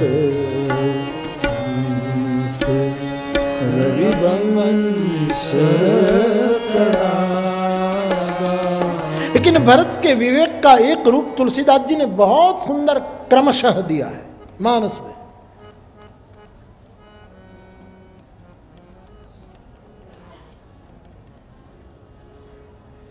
जनकराज और महामुनि वशिष्ठ जी कोई निर्णय पर नहीं है। वशिष्ठ जी ने तो कह दिया, चित्रकूट की सभाओं में कि मैं बड़ा बुद्धिमान आदमी, लेकिन मेरी भक्ति भरत, भक्ति बस भयमती भोरी। मेरी बुद्धि भरत के भक्ति में डूब गई, मुझे विचार करने की क्षमता ही खत्म हो गई। मेरी बुद्धि चलती ही नहीं। मुझे माफ़ करो वशिष्ठ जी ने हाथ ऊपर उठा दी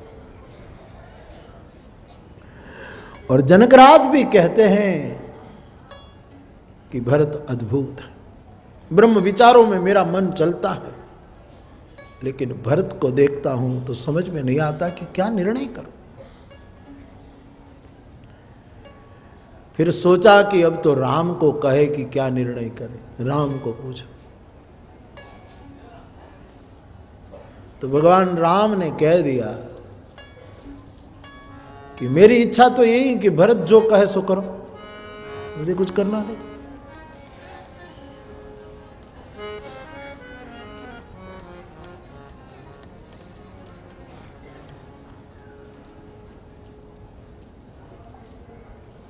अब राम जी ने ऐसा कहा तो तुलसी जी लिखते हैं कि उसी समय मुनि और जनक सब संकोच में पूरी सभा डूब गई कि अब करे क्या? भरत का चेहरा देख रहे हैं और सोच रहे हैं कि अब क्या किया जाए।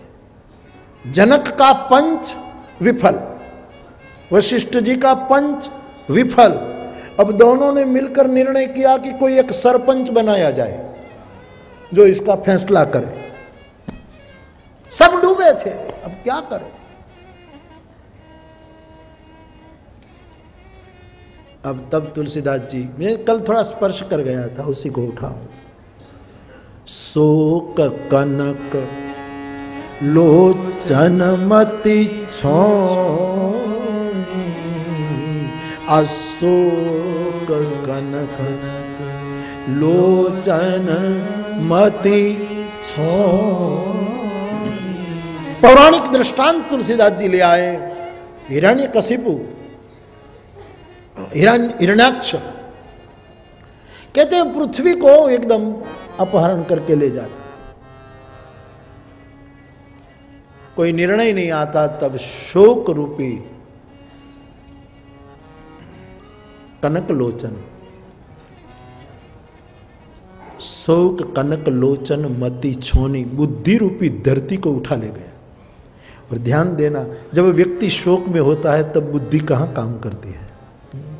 रामायण में आता है, शोक निवारे वो सभी निज विज्ञान प्रकाश, ज्ञान ही तो शोक का निवारण कर सकता है। जहाँ विवेक नहीं, वहाँ शोक बड़ों बड़ों की बुद्धि को हिला देते हैं।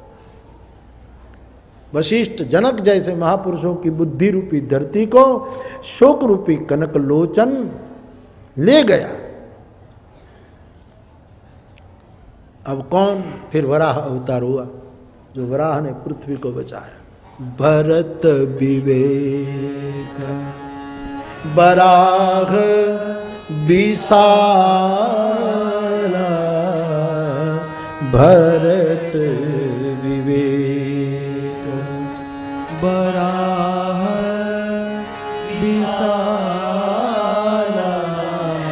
अनायास उधरी ते ही कारा।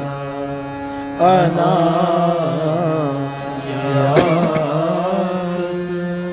उधरी ते ही कारा। श्री भरत जी का विवेक ज्ञान, उनका विज्ञान वराह अवतार के रूप में प्रकट होता है और शोक रूपी कनकलोचन ने बुद्धि रूपी धरती को चुरा ली थी, सबकी बुद्धि को मुक्त कराया। सबको सावधान कर दिया उस पंक्तियों का पाठ कर लिया आगे। करी प्रणाम। सब कह कर जो रे राम राम गुर साधुनी हो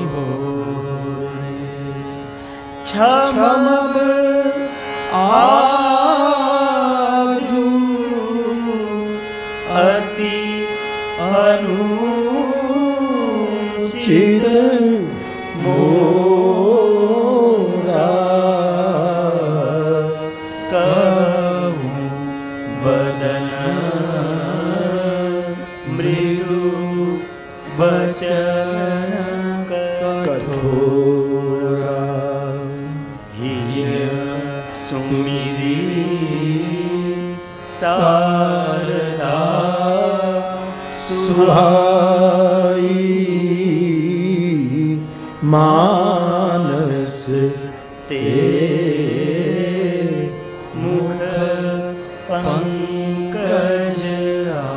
सब चुप, सबकी बुद्धि चुरा ली गई थी।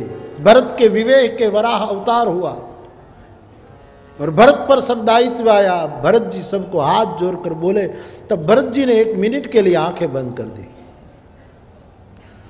जब सबकी बुद्धि हर ली जाए और परिवार के किसी एक सदस्य का विवेक जागरूक होना तो बचा लेता है। लेकिन वो कैसा होना चाहिए विवेकी? अंतर्मुखी होना चाहिए। यसु मेरी शारदा सुहाई। भगवान तो अंतर्यामी है। भगवान ने तुरंत भरत को पकड़ा कि तुझे तो मेरा स्मरण करना चाहिए। तू तो शारदा को। बोले, महाराज, आप कोई नहीं बोल रहे तो मुझे बोलना पड़ेगा। इसलिए मैं सोचता हूँ कि मैं क्यों बोलूँ? होठ मेरे हिलेंगे। सरस्वती बोले। तो बोले, सरस्वती तो कोई दूसरी बोले, दूसरी थोड़ी है। शारद दारो नारी सम स्वामी। आराम सूत्रधर अंतर महाराज, मेरी सरस्वती को आप नचाइएगा मेरे होठ हिलेंगे। निर्णय तो आपके द्वारा संचालित सरस्वती करेगी। जहाँ जनक आप और वशिष्ठ न निर्णय करें, मेरा कहना क्या वहाँ सार्थक होगा? अब बुलवा ही रहे हैं। तो रे सुमेरे शारदा सुहाई मानस ते मुख पंकज आई। विमल विवेक धर्म नय साई अभरत भारती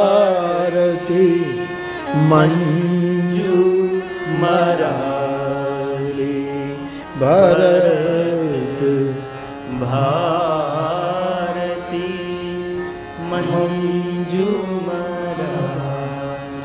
सिमरन किया और प्रभु, आखिर में तो संचालक परमात्मा है। फिर वहाँ विवेक शब्द का उपयोग तुलसी करते हैं और फिर आगे भी एक विवेक शब्द का प्रयोग कर देते हैं। निरखी विवेक बिलोचनहि शिथिल स्नेह समाजु करी प्रणाम। बोले, भरत, सुमिरी रघुना विषम परिस्थिति में सबकी बुद्धि शोक में डूब जाए। शोक बुद्धि को चुरा लें, तब अपने विवेक से सबको मुक्त करे, वो सन्यासी का लक्षण है। भरत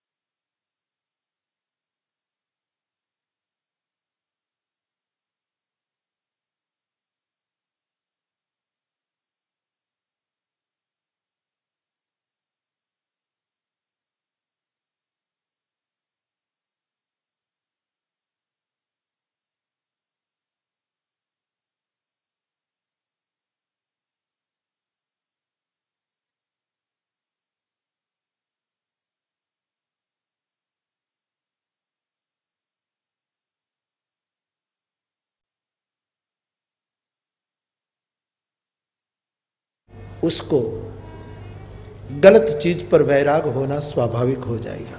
जान लेगा बड़े बड़े मकानों में आप जो घर सजाते हैं लोग तो नहीं जूठे फल घर की सजावट में केला ही लगे। सेब ही लगे। ऐसे जूठे हमारे महुआ में बहुत मिलते हैं ना। खिलौने की दुकानें महुआ में, महुआ ना रमकड़ा बहुत वखड़ा है। लकड़ी के लवंग बनाते, इलायची बनाते, भूल से कोई खा जाए, दांत टूट जाए। लेकिन बिल्कुल आप नोवा के देखिए, इलायची मानी, कोई स्तरी में दे कर दे तो कोई भी भूल कर जाए। सोपारी बना वैसे नोवा वाला सोपारी। हम हम करो तो आप सोपारी। तो कोई मेहमान जाए किसी के दीवान खंड में, कोई पॉट में वो रखा है, फल तो लगेगा कि केले है, अंगूर है। मौसम्बी है नारंगी है सेब है सब ऐसे लगे। लेकिन गर्दनी जानता है उसको उनके प्रति कोई रुचि नहीं होगी क्योंकि जानता है कि नकली। लेकिन मेहमान को होगा कि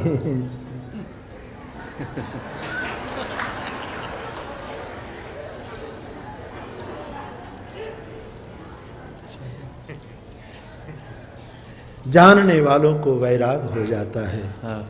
नहीं जानता उनके मुँह में पानी आने लगता है।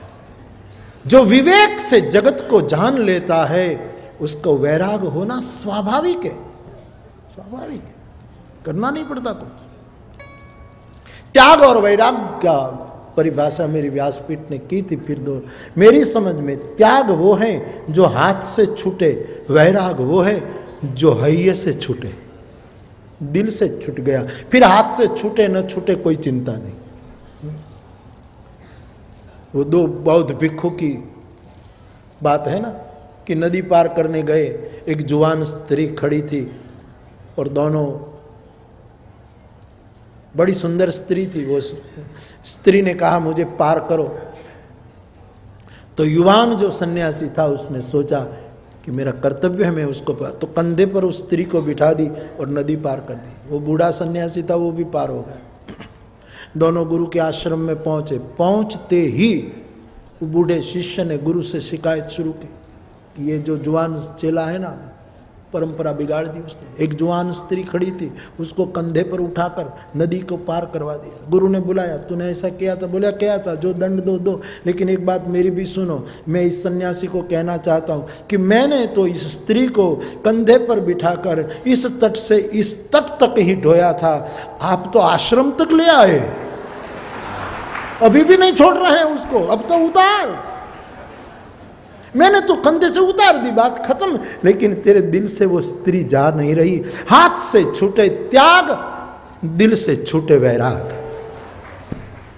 हाथ से न और जिसको दिल से छूट गया, उसको हाथ से न छूटे तो भी कोई चिंता नहीं।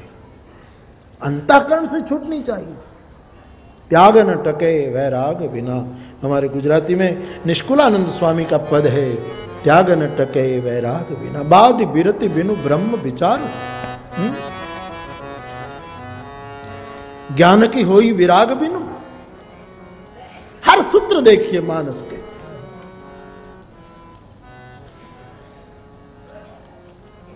तो जब विवेक होता है, तब विराग निर्माण होने लगता सब बातें साफ़ साफ़ दिखाई देने लगती अब एक बच्चे को कोई बाप ले जाए पिक्चर देखने। हाँ? और बालक पिक्चर देखने में सक्षम हो गया, लेकिन अभी बालक है, उसको ले जाए कोई पिक्चर देखे।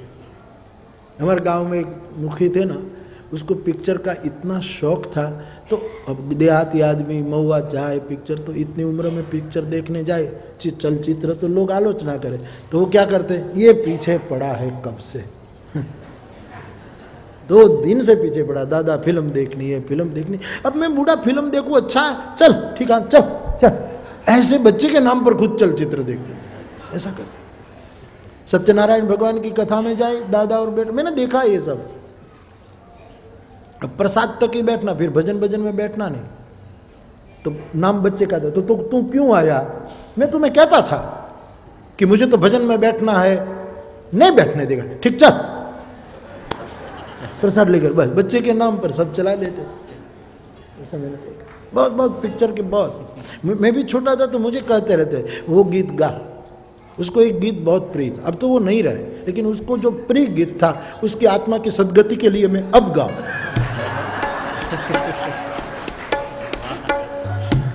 अब खबर नहीं, मुझे तो कितने कितनों की सदगति करनी है।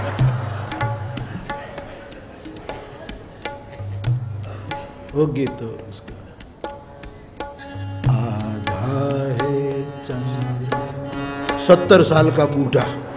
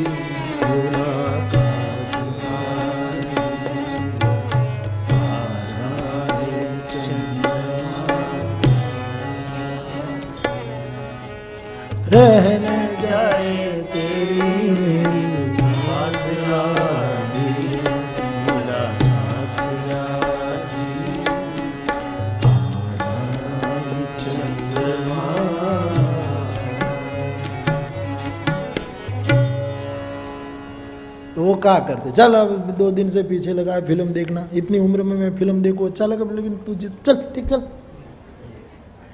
अब कोई दादा बेटे को पिक्चर देखने ले जाए।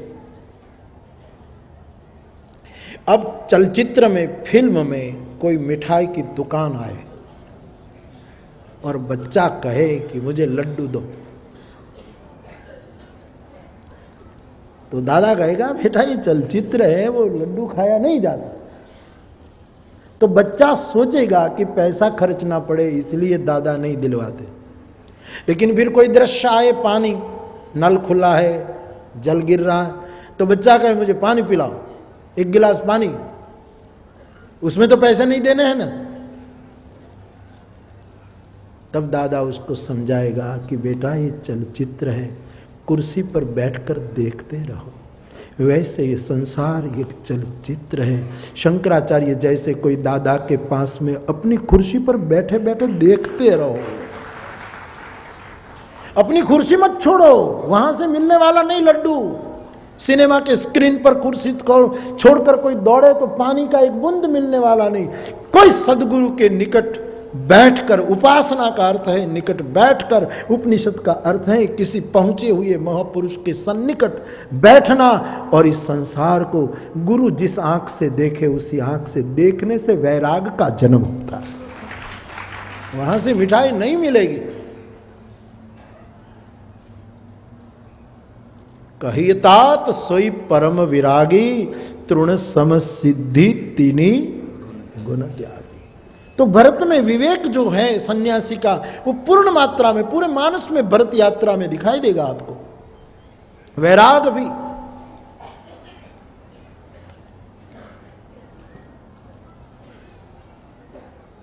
मैं कल भी स्पर्श कर चुका था, भरत का वैराग। अवध राज सु राज दशरथ धन लखी धन और तुलसी, कौन शब्द यूज़ करते तेगी पूर बसत भरत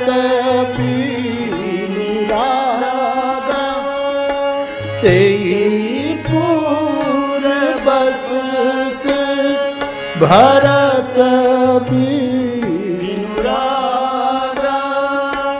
चंचरीक जिमि चंपक बागा जिमि चंपक बागा अवध राज राज सुहाई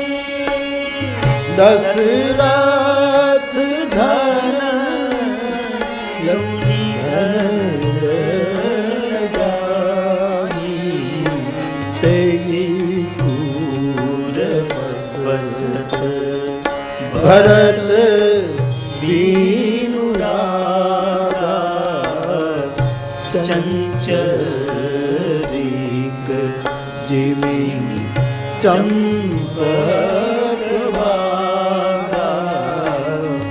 तेगी भरत दीनु रा बिनु रागा विराग दशरथ जी का राज्य देखकर देवता लोग सराहना करते। दशरथ जी का धन देखकर कुबेर लज्जित होता था। ऐसे राज्य में भरत किस तरह रह रहे हैं? बिना राग वैरागी होकर दृष्टांत दिया, चंचरीक जिमि चंपक बागा। जैसे चंचरिक भंवरा चंपा की बाग में विरागी बना रहता। है कहते हैं कि भंवरा चंपा के फूल पर बैठता नहीं, सूंघता नहीं, चूसता नहीं, पराग। नहीं बैठता। अब भंवरा चंपा के बाग में विरागी रहता है, क्यों? उसका सच्चा जवाब तो भंवरा ही दे सकता है, हम तो कल्पना कर सकते हैं। सीधी बात है, भंवरा ही दे पाएगा। लेकिन सब अपनी अपनी मानसिकता से बहुत जवाब खोजे गए साहित्य में भी। कि भाई भंवरा क्यों नहीं? क्योंकि आखिर में तो आदमी अपनी अपनी मानसिकता के रूप में अर्थ करता है कि भंवरा चंपा में क्यों नहीं बैठता सब अपने अपने ढंग से। सुबह थी और चिड़िया बोल रही थी। तो कोई भगत को किसी ने पूछा चिड़िया क्या बोलती है? अब चिड़िया क्या बोले, वो भगत क्या जाने? दूसरी चिड़िया जाने या तो खुद जाने? हम थोड़ा जान सकते हैं चिड़िया क्या बोले लेकिन भगत को पूछा कि चिड़िया क्या बोलती है? तो उसने कहा, चिड़िया बोलते राम लक्ष्मण दशरथ। राम लक्ष्मण दशरथ राम लक्ष्मण दशरथ यही बोलती। अच्छा तो एक मौलाना निकले। किसी ने पूछा मौला ये चिड़िया क्या बोलती है? बोले अल्लाह तेरी कुदरत अल्लाह तेरी कुदरत अल्लाह तेरी कुदरत। वो कहता है राम लक्ष्मण दशरथ ये कहता है अल्लाह तेरी कुदरत। तो ये सुबह में एक पहलवान एक्सरसाइज के निकला। उसको पूछा "ये चिड़िया बोल दो बोलो, दंड बैठक कसरत। दंड बैठक कसरत one two three four five six seven eight दंड बैठक कसरत एक कहते अल्लाह तेरी कुदरत, एक कहे राम लक्ष्मण दशरथ, एक कहे दंड बैठक कसरत व्यापारी निकला, दुकान खोलने जा रहा था। उसे चिड़िया को बोले बोले, मिर्च, धनिया, अदरक। मिर्च, धनिया, अदरक। मिर्च, धनिया। जाकी रही भावना जैसी जैसी आदमी की मानसिकता तो चंपा के फूल पर चंचरिक क्यों नहीं बैठता? उसने सबने उपाय खोजे। एक कवि ने तो कहा, चंपा, तुझ में तीन गुण, रूप, रंग, अरुबास, लेकिन एक अवगुण ऐसो भयो कि भवरन आवे पास। चंपा में तीन गुण होते। हैं रूप होता है, बड़ा सुंदर होता है। रंग होता है, श्वेत और गंध होती है। हाँ। सांप आकर्षित होते हैं चंपा के पुष्प के प्रति साप आकर्षित हो जाते चंपा तुझ में तीन गुण, रूप, रंग, अरुभास, एक अवगुण ऐसो भयो, भवरन आवे पास। भवरा नहीं आता। एक लेकिन क्यों नहीं आता? तो एक और और जवाब देता है कि चंपा कहता है कि माना मेरे पास रूप, रंग और बास है, लेकिन भंवरा मेरे पास नहीं आता, ऐसा नहीं, मैं नहीं आने देता। क्यों? कि कली कली मोहब्बत करे, जा भमर ना आवे पास। हर कली पर प्रेम करने वाला तू मेरे पास मत आना। चंपा मना कर देता है भवरे को कि तू दूर रहे, तू तो हर कली पर बैठता है। तू मेरे पास मत आना। ऐसे दूर कर दे, एक कवि ने ये कल्पना की। और एक कवि वो ये कहता है कि चंपा वर्णी राधिका भवर हरि को दास, क्योंकि कृष्ण काला, भंवरा भी काला। रंग। इसलिए तो भागवत में भंवर गीत आया। अद्भुत व्याख्या, आचार्य चरण भंवर गीत। वो जब उद्धव जी आए तब जो भंवरे को देखकर जो उद्धव को उलाहना लेते हुए गोपियों ने जो भंवर गीत का गान किया, कपटी है भंवरा। मधुप कितव मधुप, जो सुखदेव जी का शब्द है। वो कृष्ण को इस व्याज से सुना रहे थे। भंवरे के निमित्त कृष्ण को टाना मार रहे थे। अभिप्राय ये है कि काले कृष्ण, भंवरा भी काला लेकिन कृष्ण ठाकुर हैं, भंवरा उनका भक्त है। जैसे रामचरण पंकज मन जासु, लुभित मधुप इव तजैन पासु। तो किसी कवि ने कहा, चंपा वर्णी राधिका, भवर हरि को दास ते ही कारण आवत नहीं। भंवरा, ऐसा कुछ हाँ चंपा के पास, ऐसा कुछ है। सियावर रामचंद्र की जय। चंपा वर्णी राधिका भवर हरि को दास। ये प्रभु का दास है। चंपा वर्णी राधिका है, इसलिए वो उनके पास स्वाभाविक है। वो मर्यादा। हाँ? हाँ हाँ।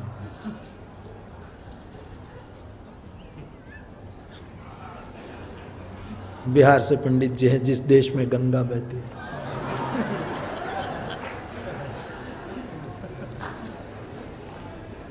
ज़्यादा की नहीं लालच हमको, थोड़े में गुजारा होता बड़े चैन से बैठे हो तीनों से धन्यवाद बाप। तो ऐसे ऐसे दोहे और काव्य में भी भंवर और चंपा की बातें सब बताई।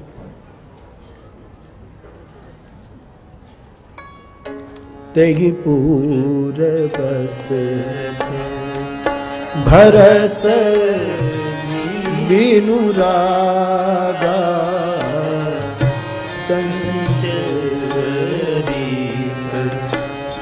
जिमि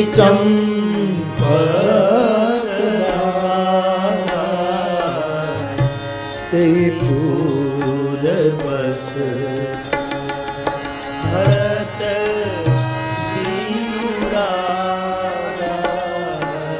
रमा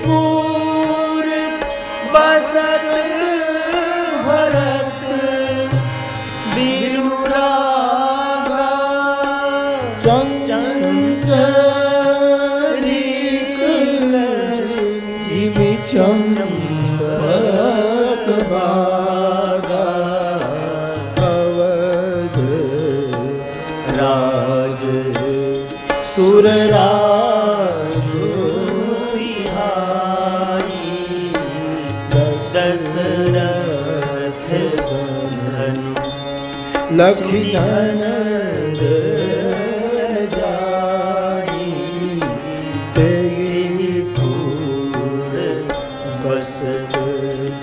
भरत दीनु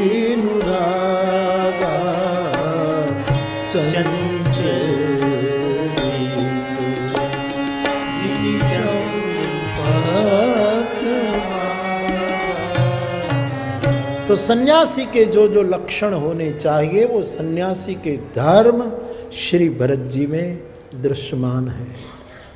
प्रपंच मुक्त है भरत जी परम विवेकी है भरत जी परम वैरागी हैं श्री भरत जी। सोचिए जति प्रपंच रत विगत विवेक। बैखानस। सो सोई। सोचे तप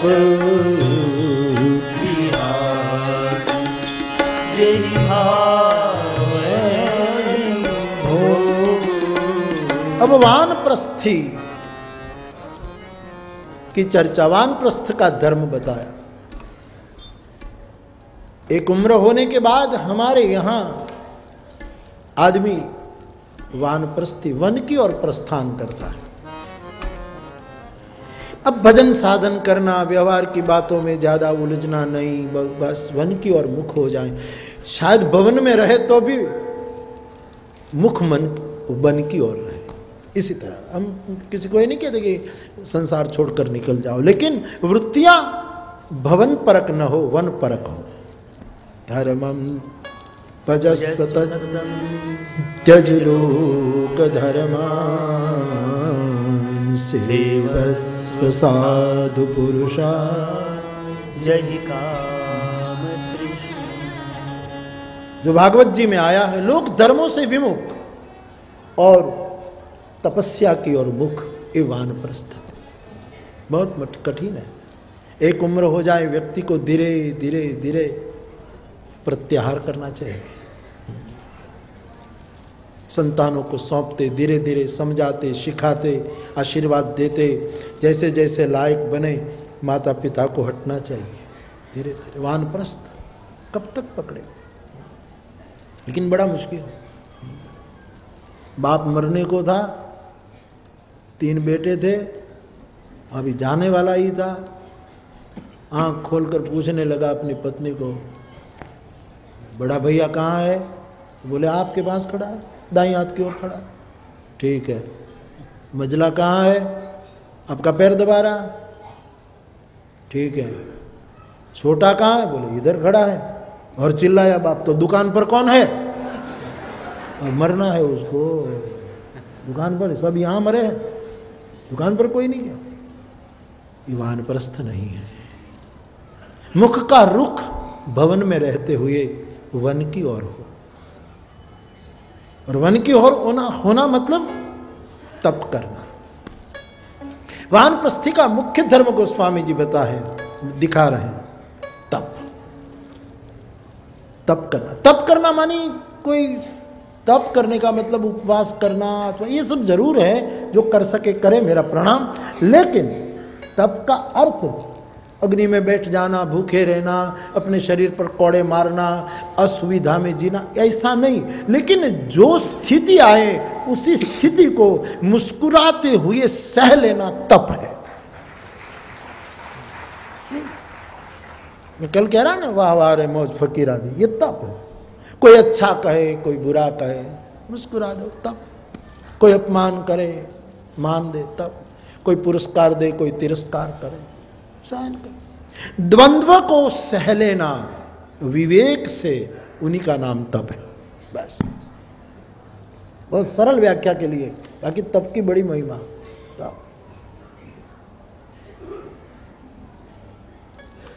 बैखानस। अब अब बूढ़े आदमी जब वानप्रस्थी व्यक्ति हो जाए ना, तब आदमी को कभी कभी आप, मैंने तो देहातों में देखा है कि, जैसे उम्र होती है ना, उसको समय पर यदि भोजन न मिला तो चिड़चिड़े हो जाते हैं। क्या कर रहे हो तुम लोग? हाँ मृत्यु के पहले मुझे मार दोगे तुम। मेरी एक थाली ठीक से नहीं परोस रहे हो। करते क्या हो तुम? कहाँ गए साहब? हो कहाँ?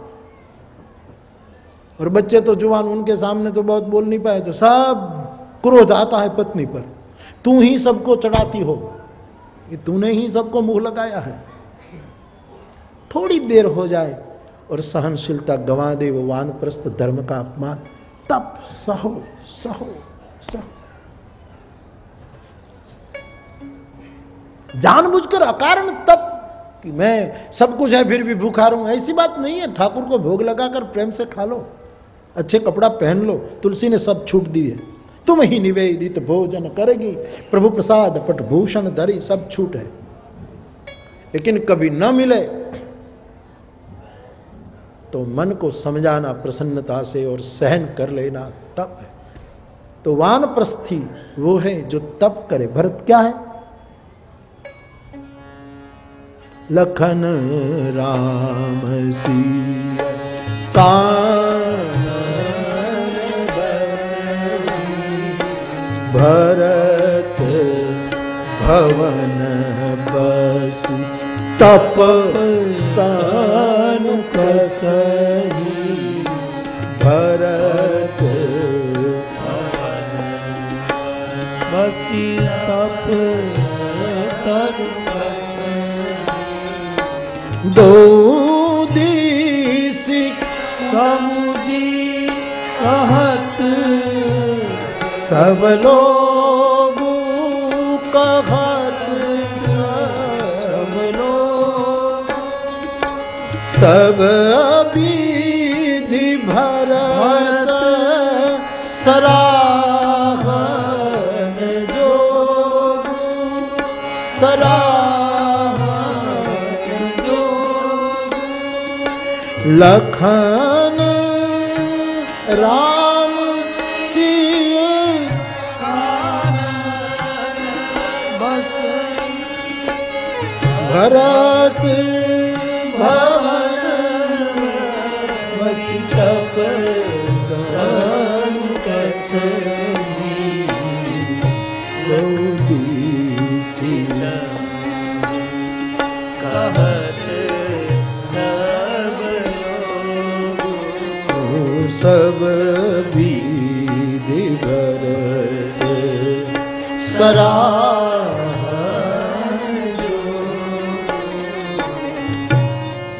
बैखान सोई सोचे जोगु, तप बिहाय जेहि भावई भोगु।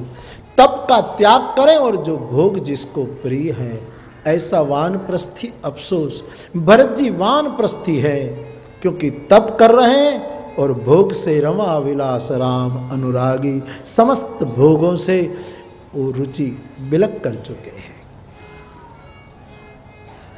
वन में नहीं गए, भवन में रहकर वानप्रस्थ हो गए तो ब्रह्मचारी, गृहस्थ, सन्यासी और वानप्रस्थ, इन चारों का धर्म श्री भरतलाल जी ने चरितार शायद इसलिए गोस्वामी जी कहते हैं, सकल धर्म धुर धरणी धरत को। आप न होते तो समस्त धर्मों को, दुरा को इस जगत में कौन धारण करता? ऐसे भरत जी का दर्शन हम इस कथा में प्रधान रूप में कर रहे हैं और दर्शन कुछ कल करेंगे। आज यहाँ से जाएँ, इससे पहले जो समय बचाए उसमें थोड़ा कथा का क्रम ले लें। कल राम जन्म महोत्सव मनाया गया। बहुत उत्साह के साथ। नहीं नहीं नहीं, मैं, आप हँसते क्यों है? वो मेरा कोई मेला इरादा नहीं है, मैं कोई ऐसे कोई लेकिन बहुत उत्साह के साथ। उत्साह का अर्थ ही है कि उसमें आनंद के अतिरेक में क्या पता लगे हाँ? वो नहीं, वो आनंद कर आनंद भाई तो महाराज का रुपया नहीं उड़ाने लगा था वैसे वैसे तो आनंद में ऐसा होता है सीधी सीधी तो कल तो भाव में, यानी उत्साह में सब थे। आइए, राम जन्म महोत्सव अयोध्या में हो रहा है। दो मिनट उनके सम्मान में संकीर्तन करें। हरे राम राम राम सीता।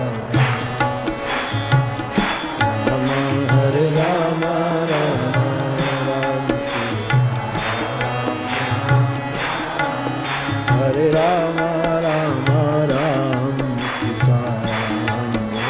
बोल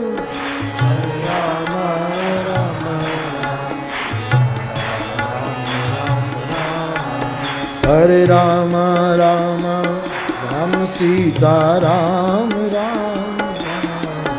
हरे राम राम राम, सीता राम राम राम। हरे राम राम राम, सीता राम।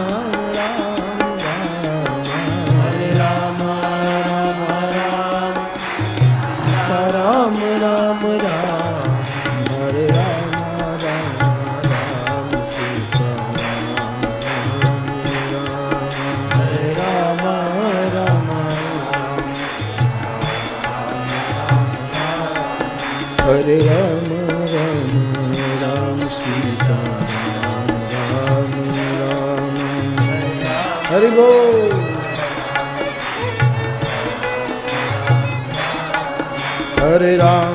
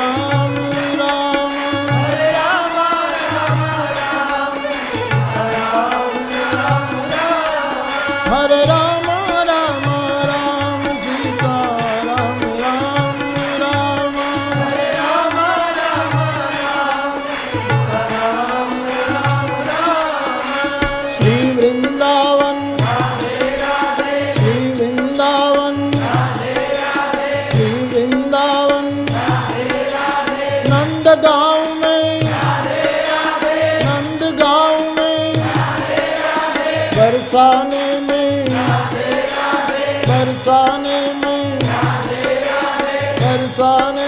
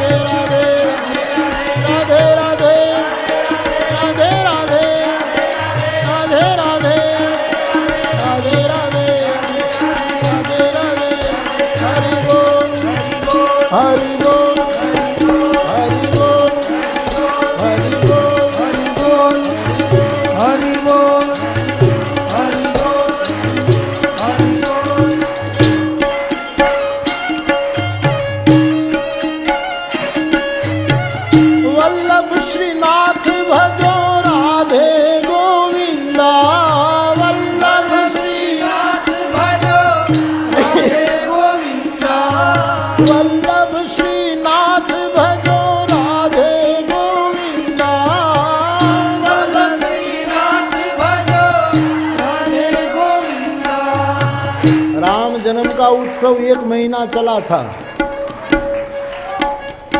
आज सुधी तो हम चला इसलिए उत्सव मनाओ। वल्लभ श्रीनाथ भजोना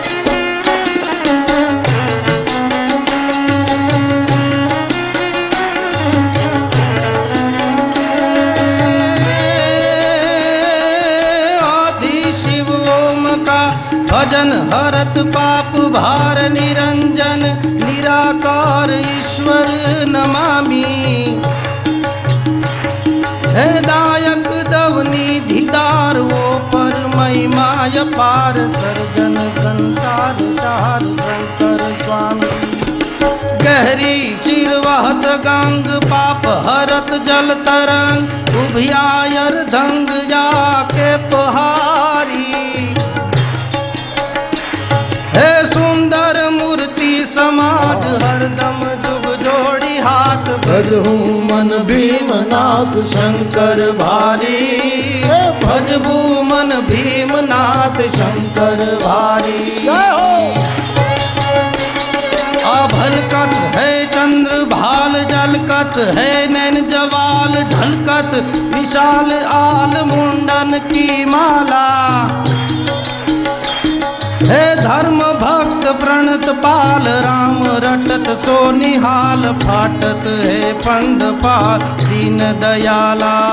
अशोभे योगी सहूप बकत हकाशित भू गुरचिट अनूप लेप भस्म धारी असुंदर मूर्ति समाज हरदम दुग जोड़ी हाथ भजबू मन भीमनाथ शंकर भारी।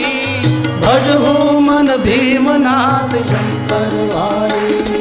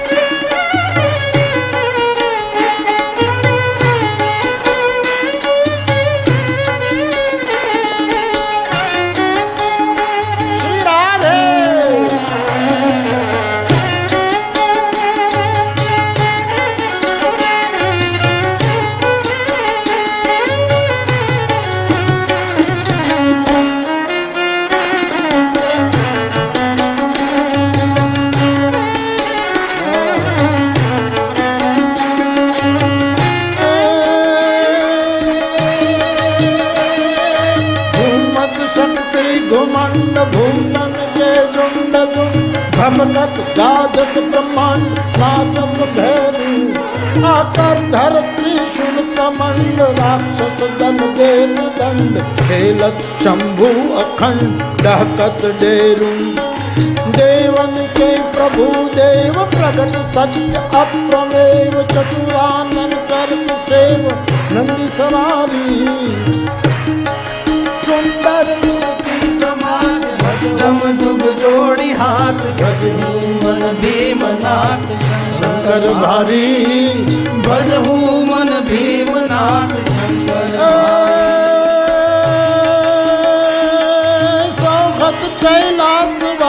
दिपत गुण उपास दास रंभा निज रास उत्सव तुरत निकट काल होवे मन को गुलास भ्रमना करकरी छंद पिंगल सबको प्रसन्न, वंदन आनंद हो द्वारम सुंदर समाज हरदम जुग जोड़ी हाथ भजबू मन भीमनाथ शंकर भाई। भजबू मन भीमनाथ शंकर झलकत है चंद्रभान जलकत नैन ज्वाल झलकत है गल विशाल, मुंडन माला। पण धर्म भक्त प्रणत पाल नाम रटत सोनिया खाकत खंड कहल, दयाला अनैशो योगी स्वरूप, सहत शीत धूप दुर्गति भारी सुंदर मूर्ति समाज हरदम जुग जोड़ी हाथ भजबू मन भीमनाथ शंकर भाई भजबू मन भीमनाथ शंकर भा हो।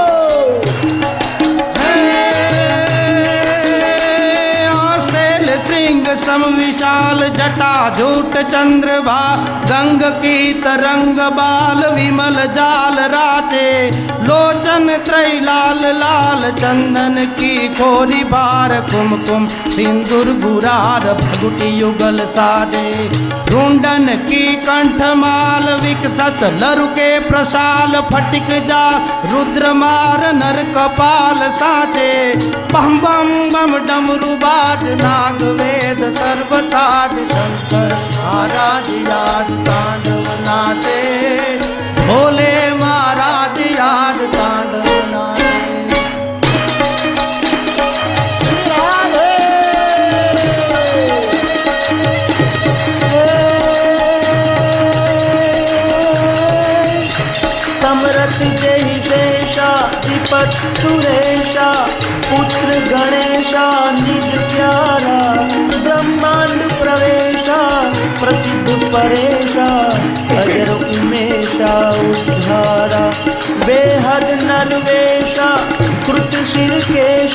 सुरेशा चलत अशेषा अघरेशा जय देव सिद्धेशा हरन कलेशा, मगन हमेशा, माहेशा जी मगन हमेशा। अमार सर यनु कर कर कर, वर घर मेल करे। हरियर सुर अवार अक्षर भर भर, मन हर बर बर हर परे।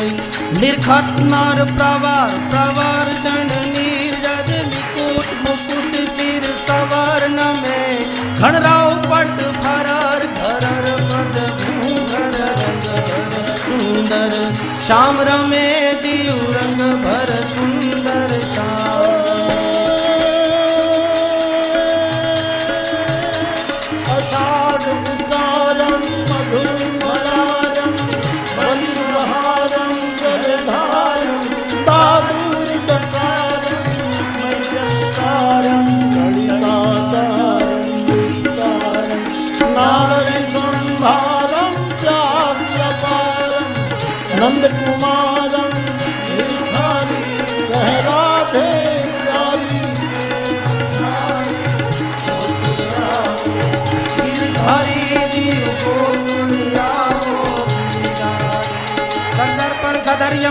यनु कर कर कर वर घर मैल करे यर यर सूर्य वर यचर यत मन हर बार बार युर यत यरक पर। निर्खत नर प्रवर प्रवर कर निर्जर निकुट मुकुट सिर सवर्ण में।